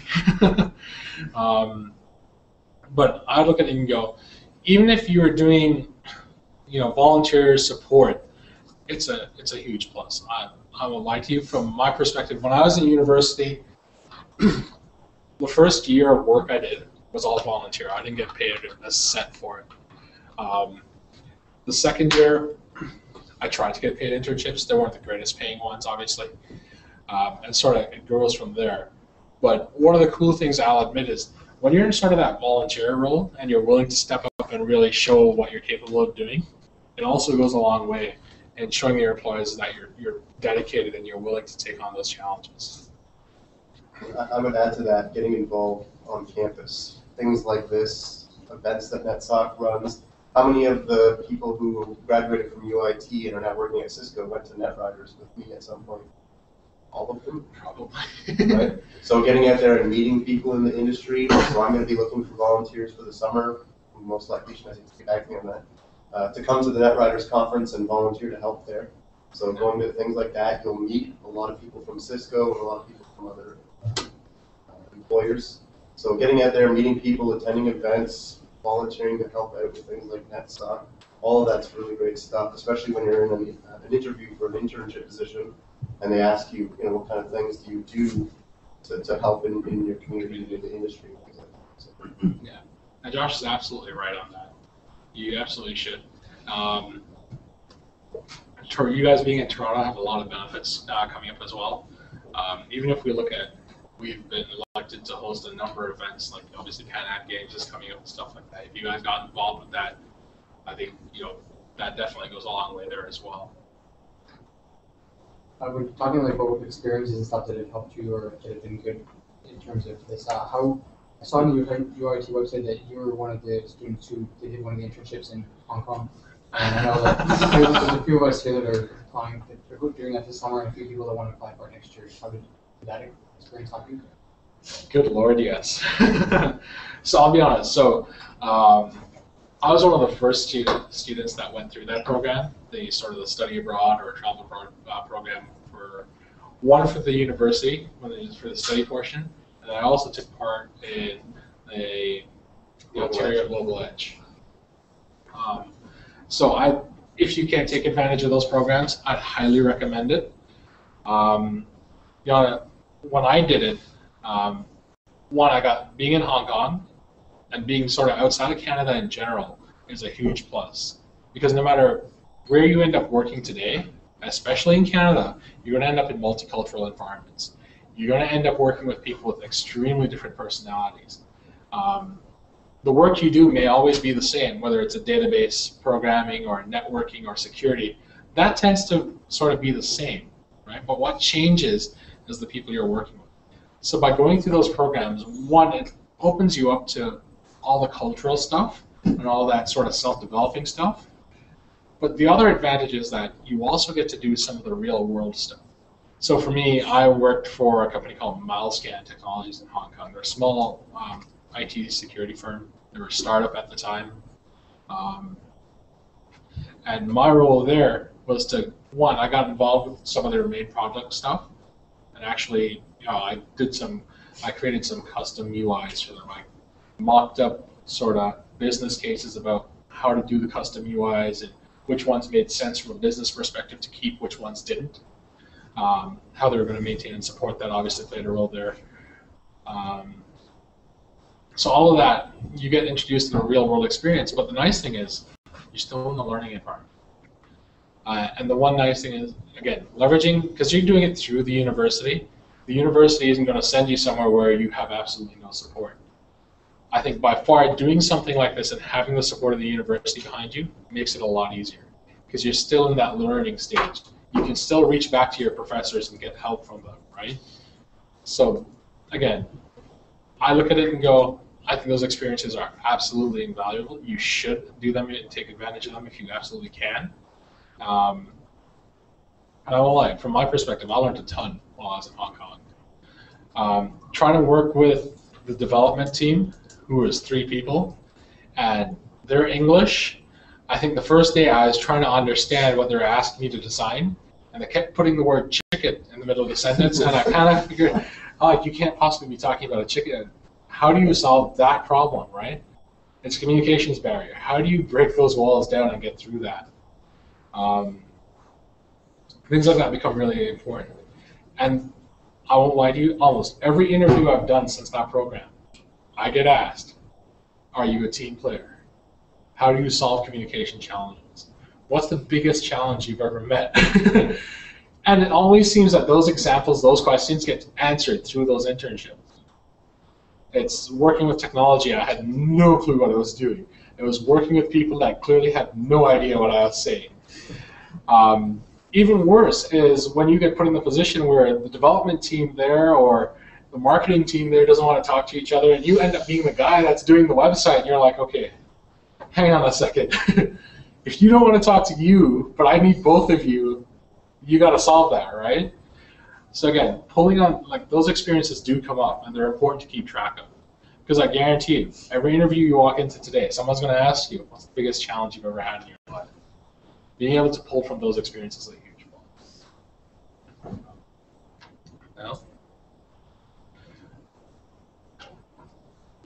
Yeah. I have a question more about Cisco's approach to R and D. We, we talk a lot about how to approach sales and recruitment, but what are they doing to stay ahead of companies like Avaya and Arista? They're younger, hungrier, they're a lot more pliable than, than a massive Than a company. massive company. That's very much true. Um, in terms of R&D, if you look at our budgets, we invest a majority of it into R&D. Um, I'll be quite honest. Um, for some of our competitors, what they've made for the year is what we invest in our R&D departments. Um, usually, usually we invest in the six to seven billion dollars in R and D for a year alone. Um, so R and D is extremely important to us.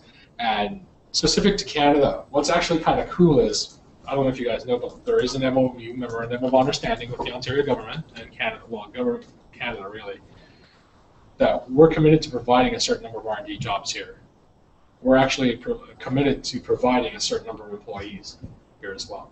So that MOU is actually quite important.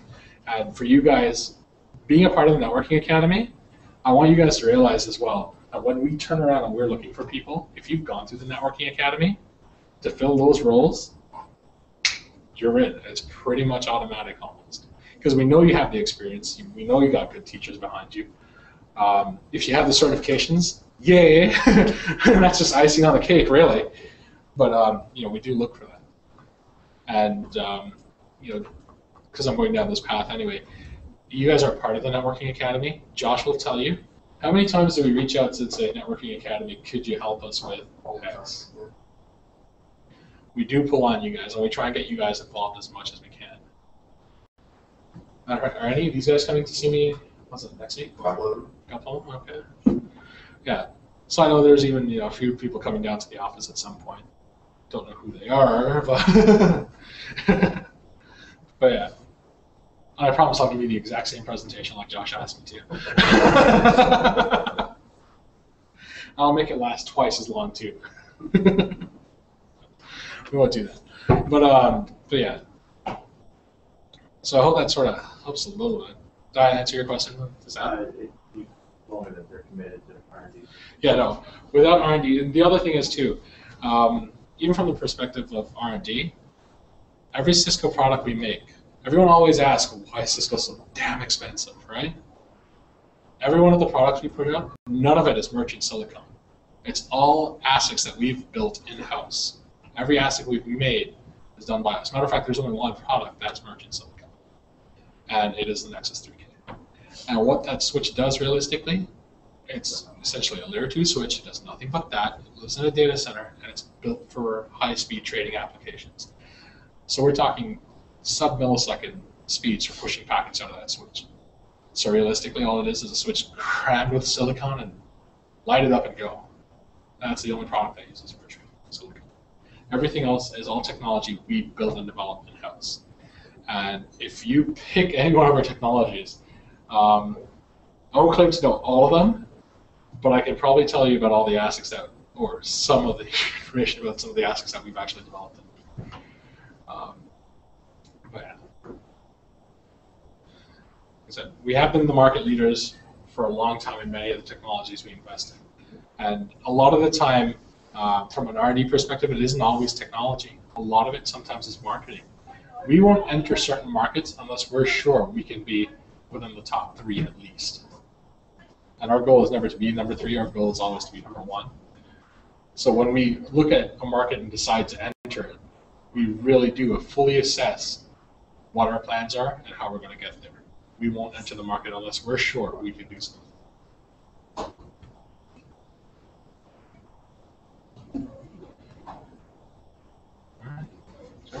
Who's your number one competitor? Depends on the I was going to say, it depends on what technology area. How about campus? Enterprise network. enterprise network and um, so I'd say right now sort of campus networks, enterprise networks, our biggest competitors tend to be sort of the yeah, it'd be HP probably. We see a lot of HP.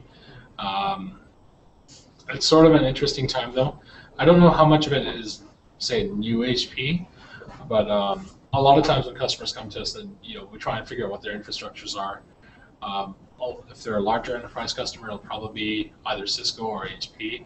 Sometimes it's really old Cisco. Like I mean, I legitimately have gear in my lab that's end of support. We don't make it anymore, and if it fell over tomorrow, I'd have to junk it.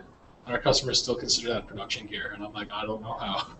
Um, outside HP is obviously, you know, they entered the switching market. They are a competitor. Um, we still have dominant market share. But a lot of businesses in Canada count as sort of what we consider small business or small medium enterprises. And they tend to have the genuine word is they have a mixed bag of stuff.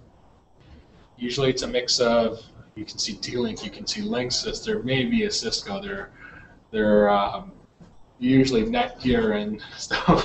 so they're, they're, most of the networks we see are pretty interesting. Really, um, competitive-wise, within Canada, I think um, there's the HPs. Uh, there's uh, even some Nortel switching gear that's been there since Lord knows when. Uh, yeah, you guys are still on Nortel, but uh, they're actually, you know, what can I say? Nortel products are solid. I mean, from the perspective of, you know, an enterprise running those, like especially Nortel gears, unless it's failing now, there's it'll run until it falls over, right? So put us down by. Yeah, there's complicated. That brought, you just mentioned about failing, but that brought up another interesting question. What if, like, is, are we at a stage here where Cisco's seeing a lot of old business needing new equipment? Or is your growth still mostly in new business and growing business? Obviously, I'll be fair I don't have the official numbers on that, so I can't give you a proper answer on that. Um, I'd say most of the customers I talk to, though, are looking at I have failing gear, and it's it doesn't even it's not necessarily Cisco gear.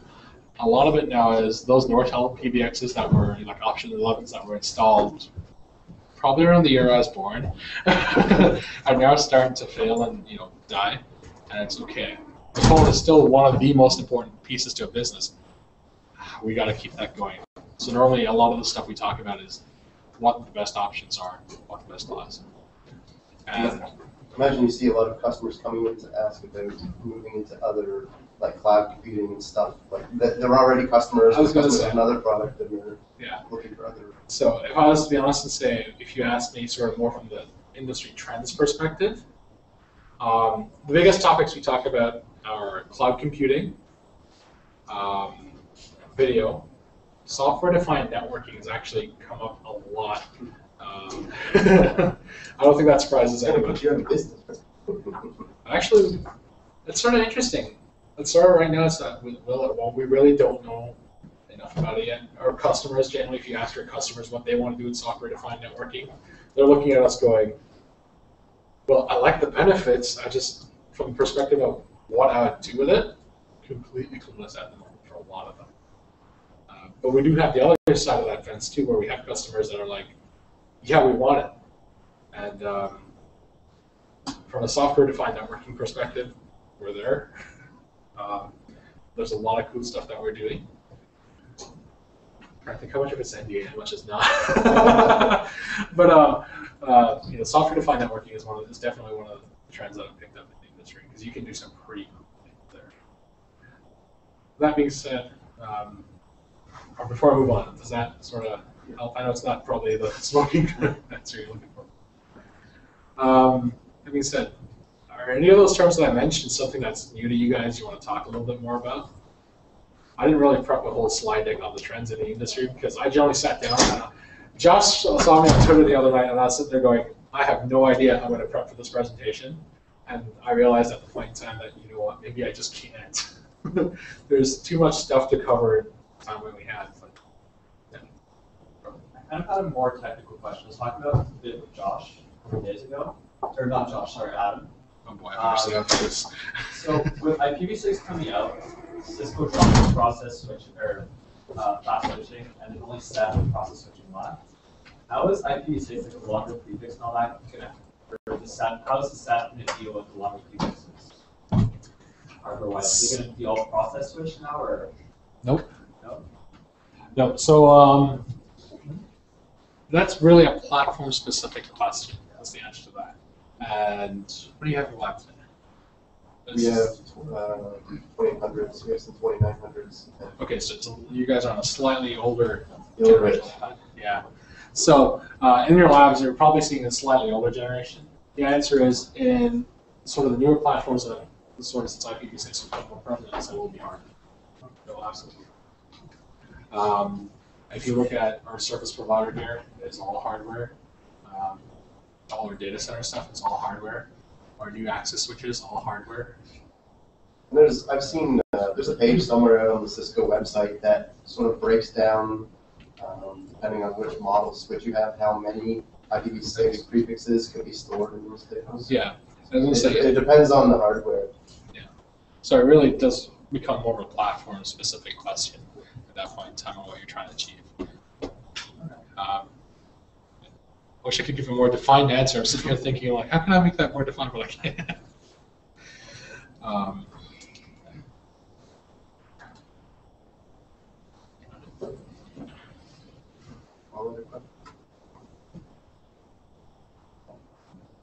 Yeah, no, seriously. you guys, okay, you guys don't have to ask me questions just about this. Um, if you generally have questions about anything technology-wise that I'm seeing or you want me to try and answer, I won't have all the answers. I'm not going to try and pitch you that I have all the answers. So I know Cisco, I believe it's up, with them. they have four different OSs now or something like that. The NX, the, the one for ISPs, I forget what it's called. And then there's IOS, then there's uh, security IOS. How- What's the difference between the all of them configuration wise? Okay, that's an easy one.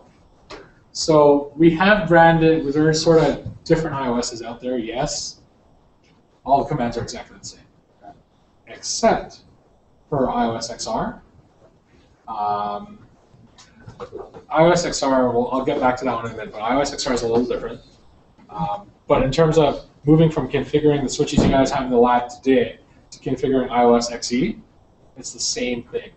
The difference between IOS that you're running on switches and routers today in the lab versus IOS XE, which is starting to come out on some of our higher end or mid-level platforms, are it's that it's multi-threaded.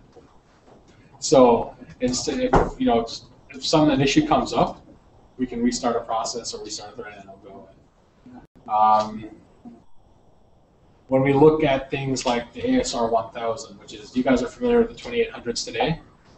Uh, the new version is out of the 2900s. The next step up is a 3900, and then you get into the ASR 1000. That today runs ISR, IOS XE. And what really we're able to do with IOS XE is things like I can turn up feature sets on the fly.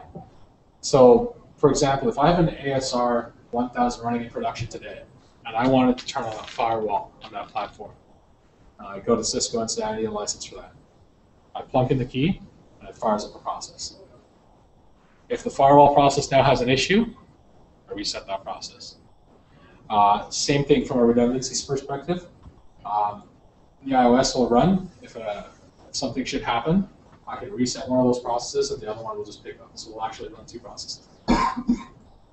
so really, what's starting to become is IOS was the original. It's a monolithic type uh, kernel for all the platforms. When we get to IOS XE, we start to talk about multi-process. When we get into IOS XR, we start to actually talk about true uh, multi-process, multi-threaded type um, software architectures. So the software architectures between IOS, IOS XE is more of the redundancy features. When we get to IOS XR, which is what runs on our service provider gear, it one looks different, and that's mostly because of the platforms it runs on being able to take an IOS XR, for example, box, like our ASR 9000 or the CRS, and actually be able to do things like I can take the control plane, install the routing protocols, I can move it around different modules on the chassis. So, for example, I could run RIP over there, OSPF over here. I could have a redundant processor there. I can actually start to move things around. Um, there are also different contexts um, on IOS XR. So for example, configuring a chassis environmental variable is in a different context from configuring um, a routing uh, context parameter. So it starts to become a little bit more interesting there. I see you. Give me one sec. This one's a little bit long answer. uh, when it comes to NXOS, for those of you who have not seen NXOS, this is our data center class, um, I guess, operating system for all routing and switching. It runs on the Nexus line or Nexus OS. Um, and what that really is is sort of uh, what we've learned from IOS, IOS XE, IOS XR, and we've sort of evolved that and brought that into the data center world. So high redundancy, uh, super fast, super reliable, and it's extremely modular. So, and realistically, from a configuration standpoint, moving from IOS to NXOS you notice no difference. The only one that's really different is Samsung. CatOS. If you want to go back, way back. I was gonna say, okay, so yeah, Blast from the Past, Cat OS was when we Cisco initially uh, entered the uh, sort of the campus uh, switching arena, or some service providers that were a little. Catalyst, um, Catalyst was an acquisition. Um, they ran Cat OS, which has gone away. Uh, okay, mostly gone away. There's still days when I walk into a customer and you go to do something like a show over, and you're like, why does that not work? Or uh, you know, change an IP address, and you're like, why does why do I have to use the set command? It's because it's CatOS and it's not. um, but yeah, we don't see CatOS very often. Matter of fact, it's so unsupported. I don't think any of our customers. Uh, you mentioned that like your job, you're involved in more of the technical standpoint. So is it, are you more involved with like configuring the and stuff, or are you more like software development, like the IOS and like the management? So from the technical side, where I come in is more um, the design process and sort of understanding that. Um, I do work with the folks who are doing like the development of the software and everything there, but my role is largely in part to help design and build out the networks. So almost more like an architect role, if you will. Um, so and I think all our SEs play that hat where essentially we're generalists. So whether you come to us and you need help with wireless design or campus LAN switching or what have you, we'll actually play, we cover all those technologies. You can specialize in a technology area, and become what we call a consulting systems engineer or CSE. And from that perspective, all you've done now is instead of being a generalist like I am today, you can say, I want to focus data center. I want to focus UCS or unified computing system. I want to focus service providers. So there are options there as well. Go on on that for a while. That help? Um, but I think by large part, my job is to really take in the customer requirements from a technical standpoint, uh, work with the account manager to figure out where the business goals are and how am I going to get them there technically. So what can I integrate? You know, how are we going to route? How are we going to switch? How are we going to scale up the network? How are we going to make it redundant? All that stuff.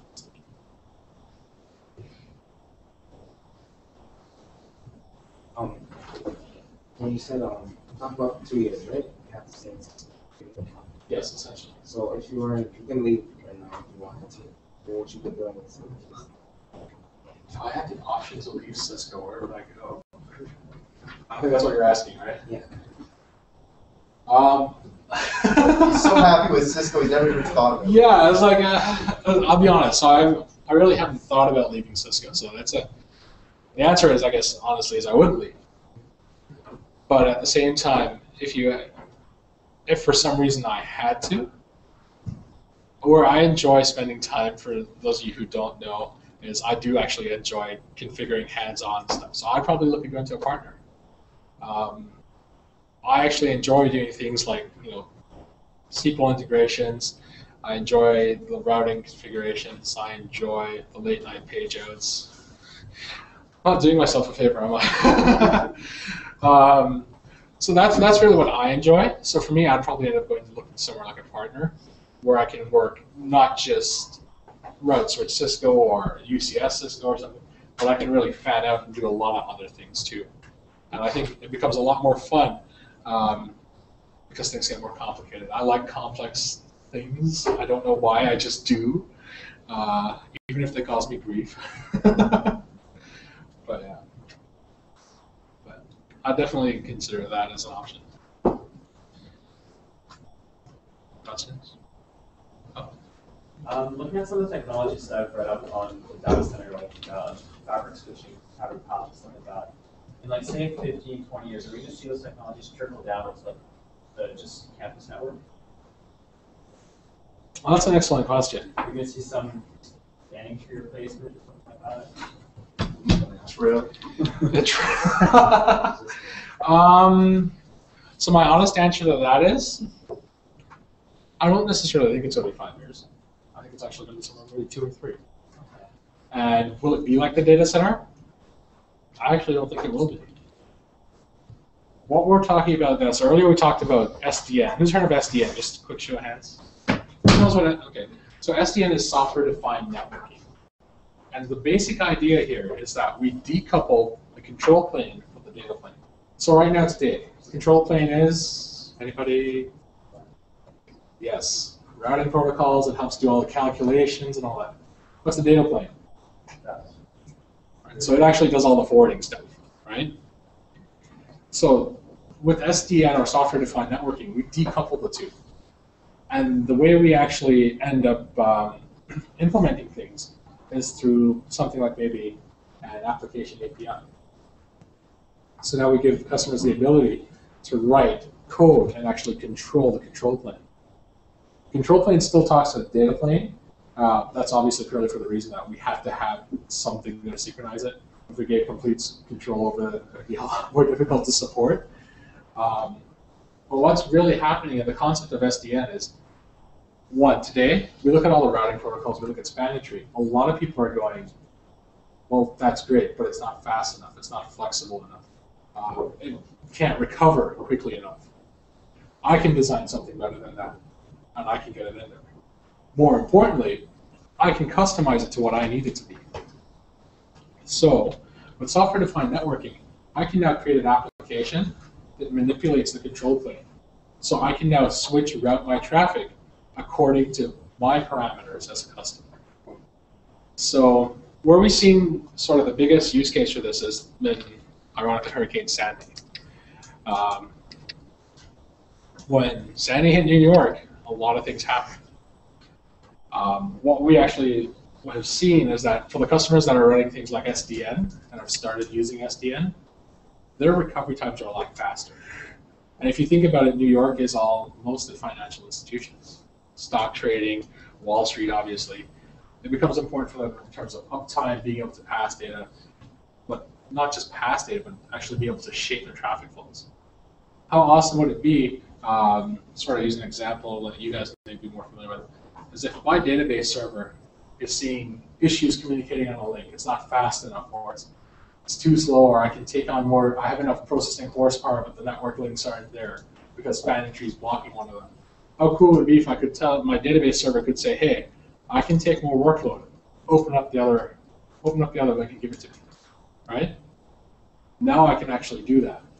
And now I can start driving the network the way I need to as a customer. So I think we're going to see things like that go away.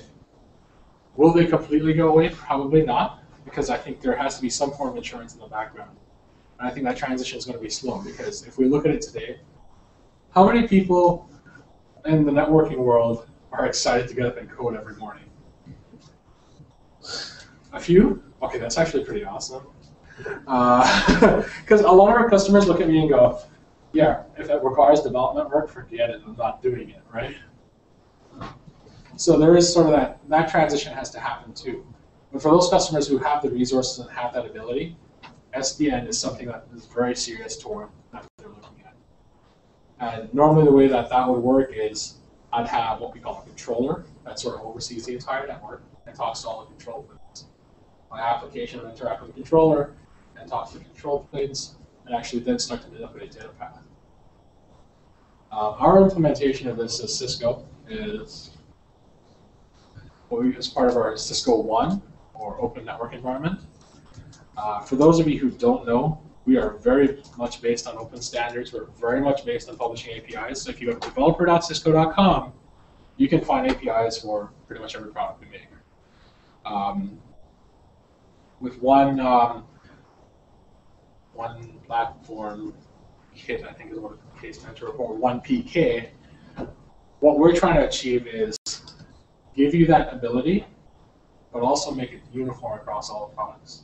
So whether it's a router or a switch, we sort of are able to do this. You guys heard of OpenFlow?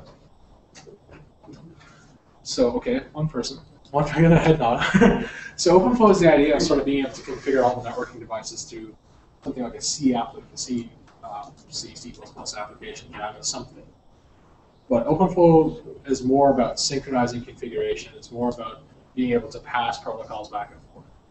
Um, oftentimes we confuse the two SDN and OpenFlow. There are, in fact, two different things. So while you guys are looking things up, undoubtedly you will, uh, bear that in mind just as a little bit of a tidbit. But um, we do, we are planning to do both OpenFlow and SDN as well. and our solution that, if you want to look it up, is called One PK. Google just replaced their entire net, network with OpenFlow. Yep. Google's. So normally where we find, if you ask me who is doing SDN, OpenFlow, and all that stuff today, it'd be the Googles of the world. It would be the Amazons of the world. Um, and the reason being is that they're cloud compute providers, right? Cloud compute providers today, if you look at it, it's all multi-tenancy, sometimes running on a shared blade, sometimes running in shared virtualized environments. They have to be able to stand up networks and tear them down quickly. They also have to be able to balloon out the side, right? So if one of their customers takes on too much compute, we still have to be able to manage that traffic. So from their um, perspective, OpenFlow becomes something that's uh, very attractive because OpenFlow is all about sort of the automation piece of it, right? Where we can not just automate the network traffic, but automate how we control it as well, and how we provision, uh, how we deprovision, how we move things around. So, yeah, usually it's the cloud providers that look into these technologies and make the first jump. I think we're running out of time. I was gonna say, I see people, some people packing up and everything. Yeah. Was I? Oh, yeah. Yeah. Oh, yeah.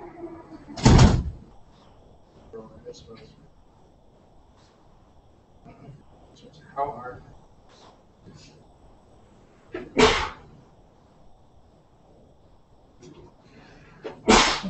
That's an excellent question. And um, I'll be honest here and say that I don't work directly in sort of that area of field.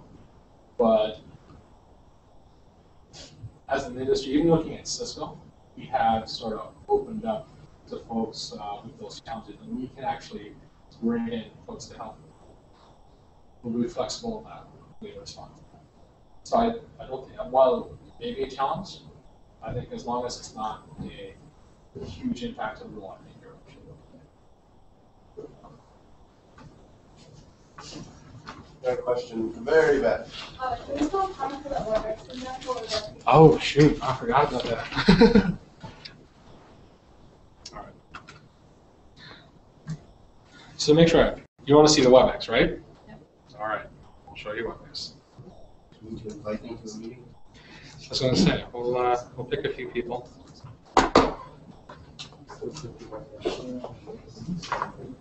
Do you know that there's a, uh, a personal WebEx site now where people can get free WebEx? There is. I Um, have one.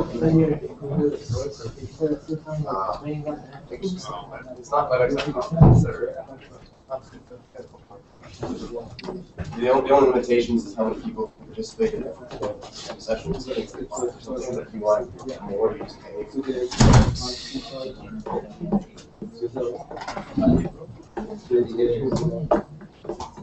Where's my Use WebEx. Oh, it's behind me, that's why.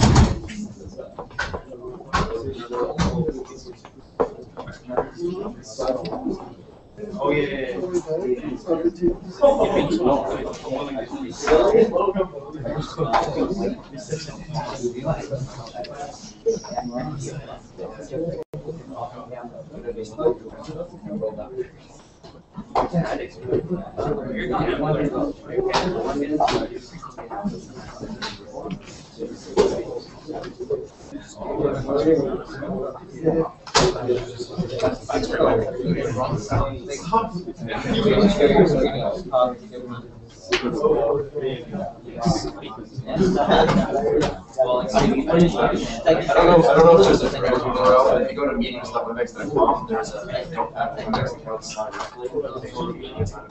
Don't you watch this?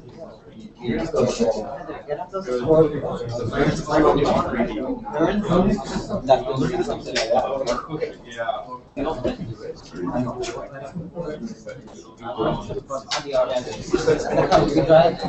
okay, I was logging into my account through its university network. Yeah, You don't VPN back to the, back the HQ and revenue traffic. I do, but Here, since I'm You looking guys now, switch it's this like- name to what? Pretty good at that And this is.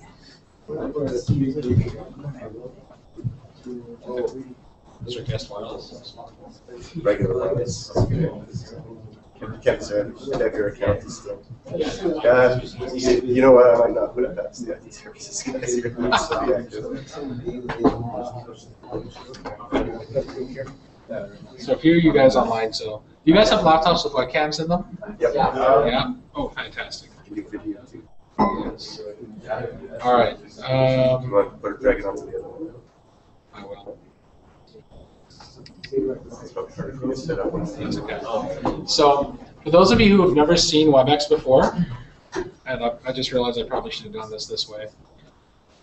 Um, so WebEx is essentially an online meeting portal. So again, similar to something like GoToMeeting.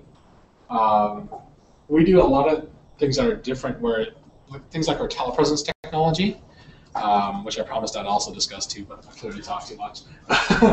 um, uh, gets built into the, the client. So things like when you come, when, for those of you who get to come and visit Cisco, um, when we talk about telepresence, it's essentially video conferencing, but we've redone the technology so that everything is HD. So you think of 1080p, we can go as far as 1080p at 60 uh, frames per second.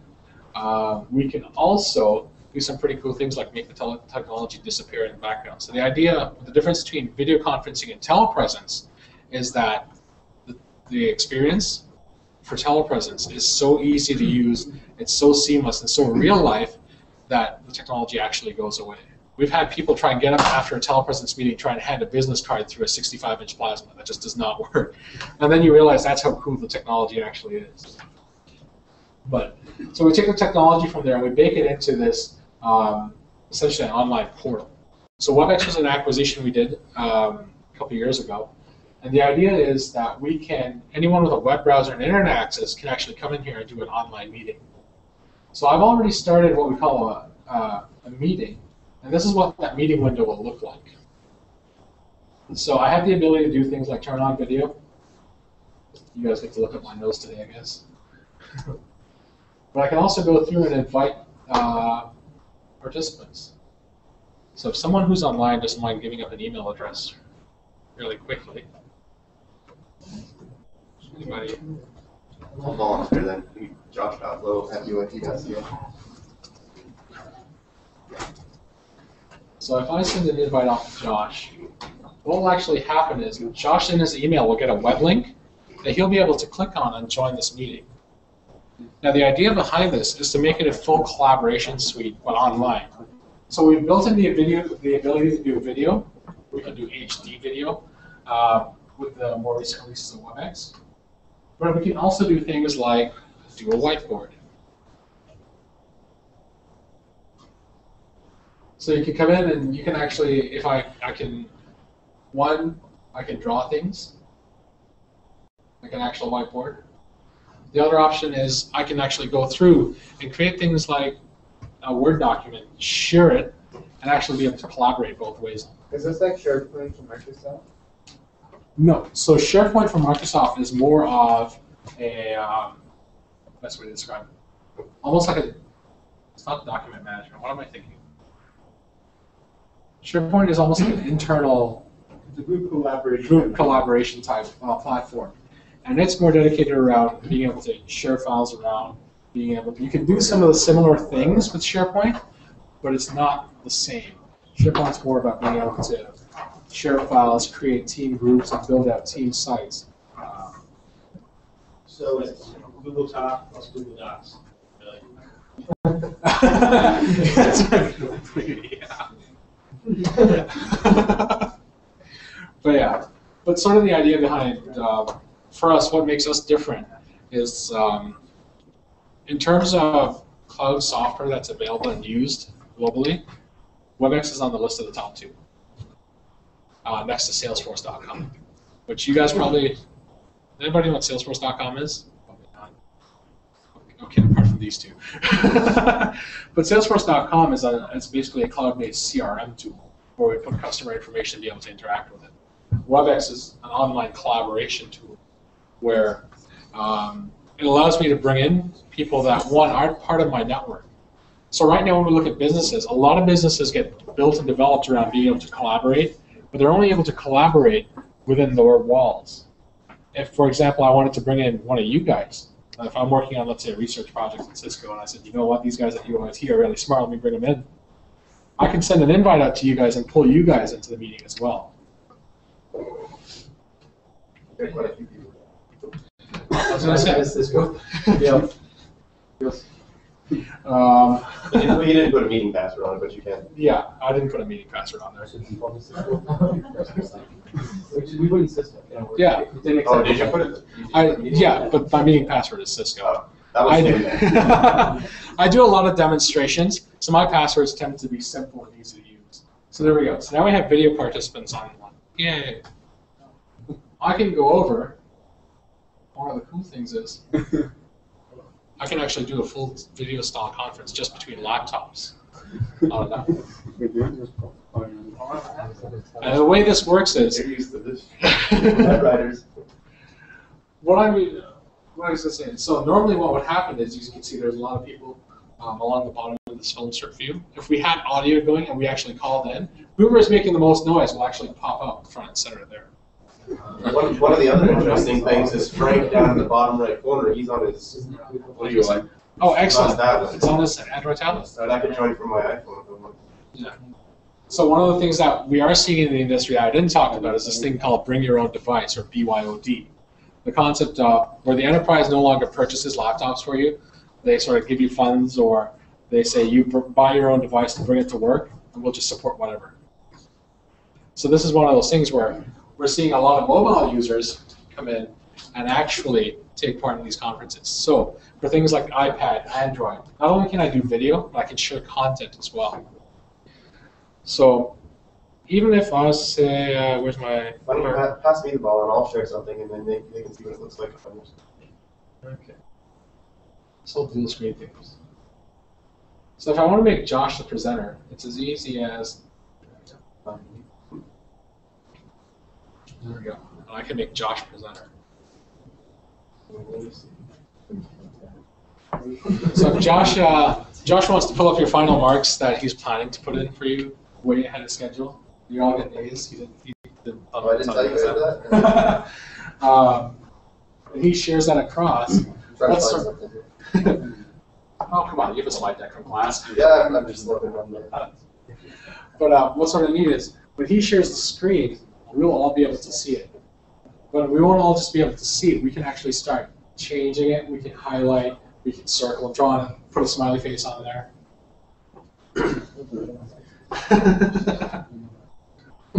quality of service. Who needs quality of service? Buy more bandwidth. but yeah, so being able to actually deliver things like presentations. So if you guys ever ask me to maybe do a virtual demo, probably the easiest way, depending on what you've got for connectivity, is WebEx.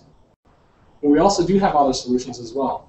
So we've already started down this path. Um, I may as well continue. if you want to play with some uh, Cisco technology that's really hot right now, if you ask me 98% of the demos I've done in the last month, what they've been on, would be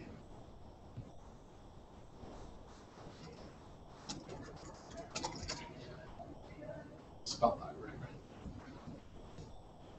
Would be something like telepresence. So you guys are familiar with Skype today, yes? Okay. So Josh will probably help me with this. I want you guys to try something for me.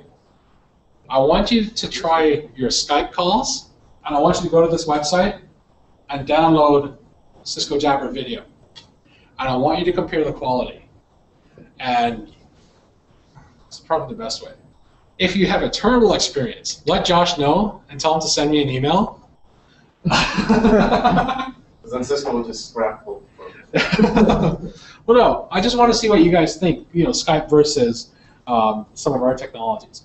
I'm kind of curious. I, I know what my coworkers are doing. I know what my customers are doing, but at the same time, they're my customers and my coworkers. Let's be real here, right? I'm, I'm kind of curious to see what you guys will think.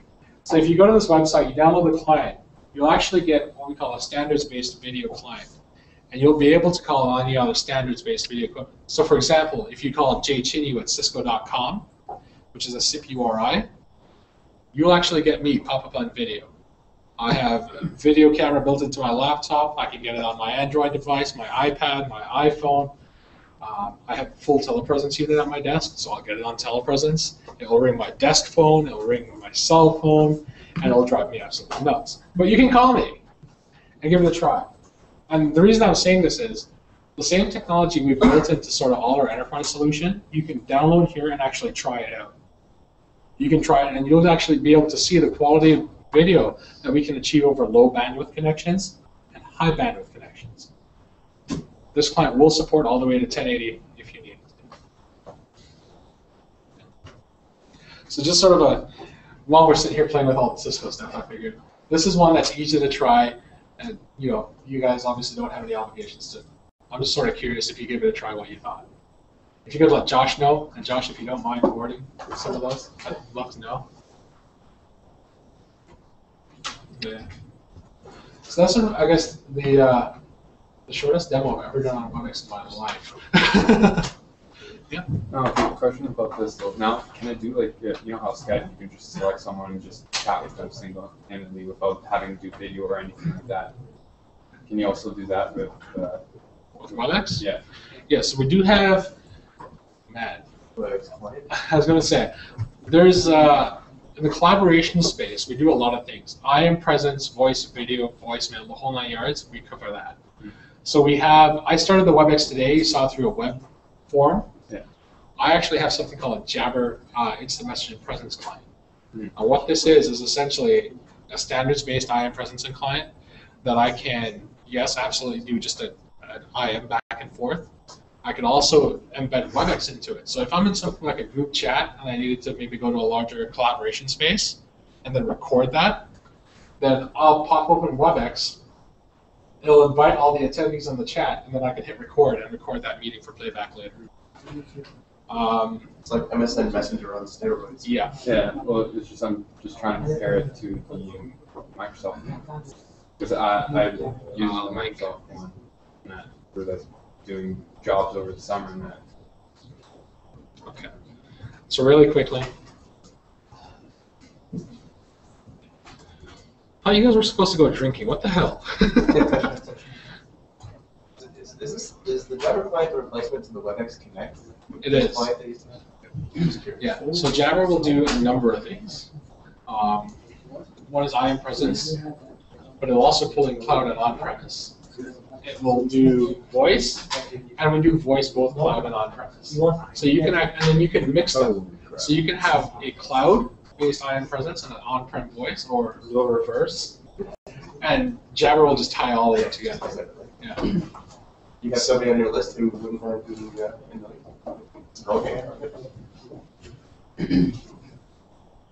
Yeah, Ryan's on there. Oh, of course.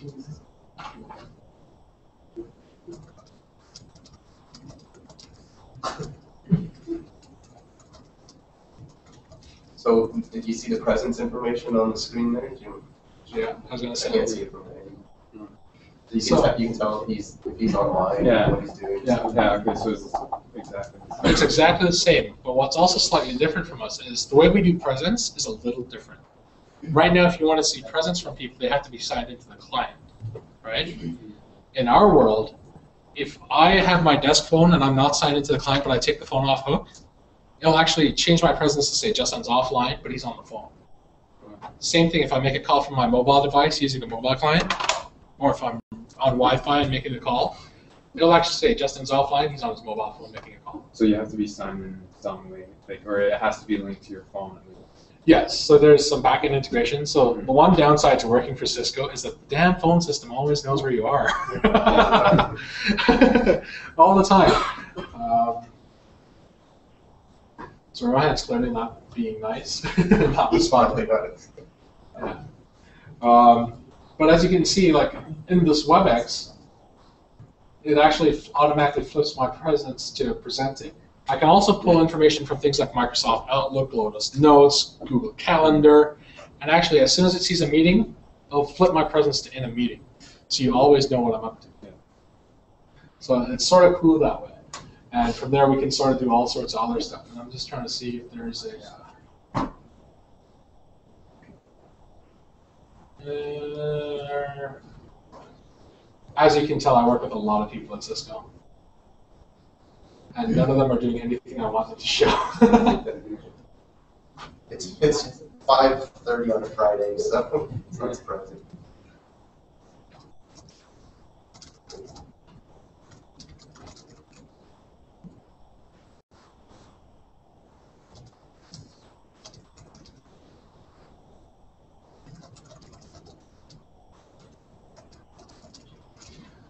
So Mojan is one of my counterparts. She's all the way out in Vancouver. So she says she's available. Let's see if she comes back. Rohan. Oh, there's Rohan. but yeah.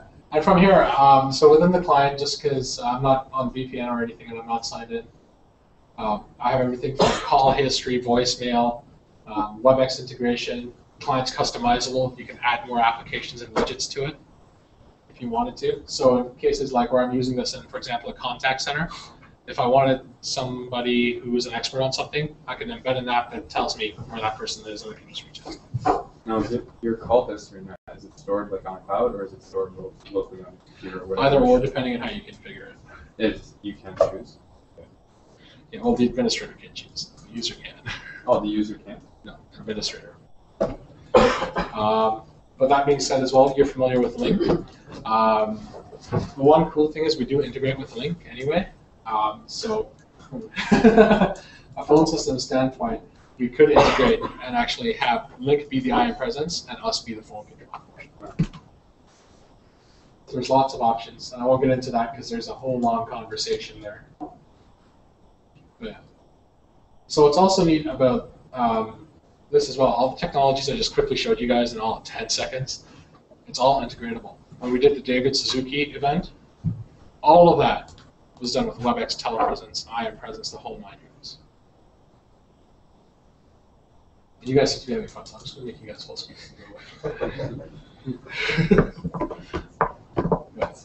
And I can also go through and say,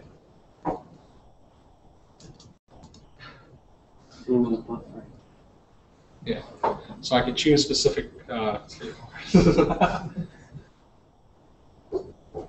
but and you'll notice that there is actually a difference between the cameras and the lighting and everything in the room as well as go through.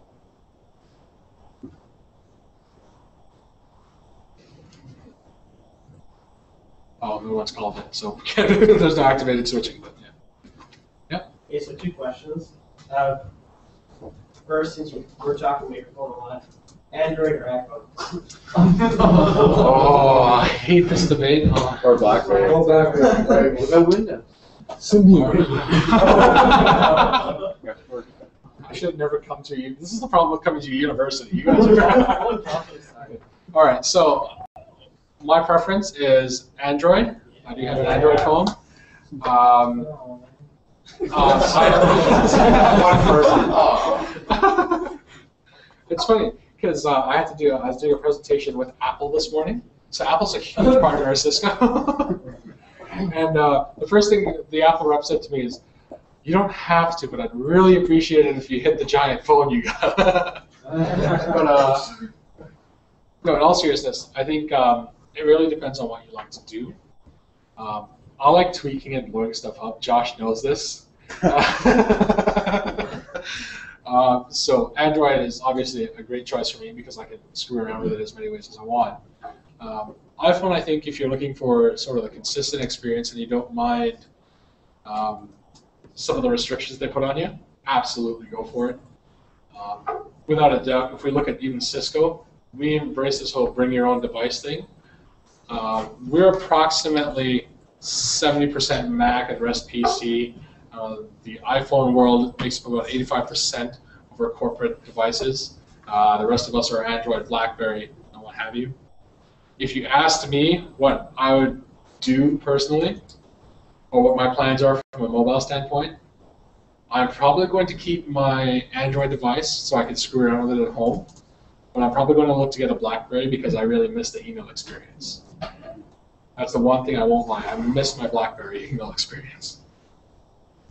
Um, my second question is, so since this is on the internet, would you rather fight one hundred duck-sized horses or one Oh my horse-sized duck? God. okay, on all the questions you guys had, that was not one of was. um, I got the hundred duck sized horse. I'm gonna have to like cover my shirt now. Hey, Obama answered that question as well. Same answer as you. Right. Hundred duck sized horses. Yeah, that, that'd be my choice. Um, just trying to think. I can feel my phone vibrating as my branding manager's calling me. Justin, what'd you do? Um, but yeah, and if you guys are curious, you're totally welcome to follow us on Twitter, poke fun, and have fun with us. Uh, pretty open to all that stuff too. You can find us there. Facebook the same. It's also a good way to sort of keep tabs on what we're up to, sort of as an industry perspective. Um, we do blog, tweet, Facebook a whole lot, so you guys are welcome to you know jump on those bandwagons if you'd like.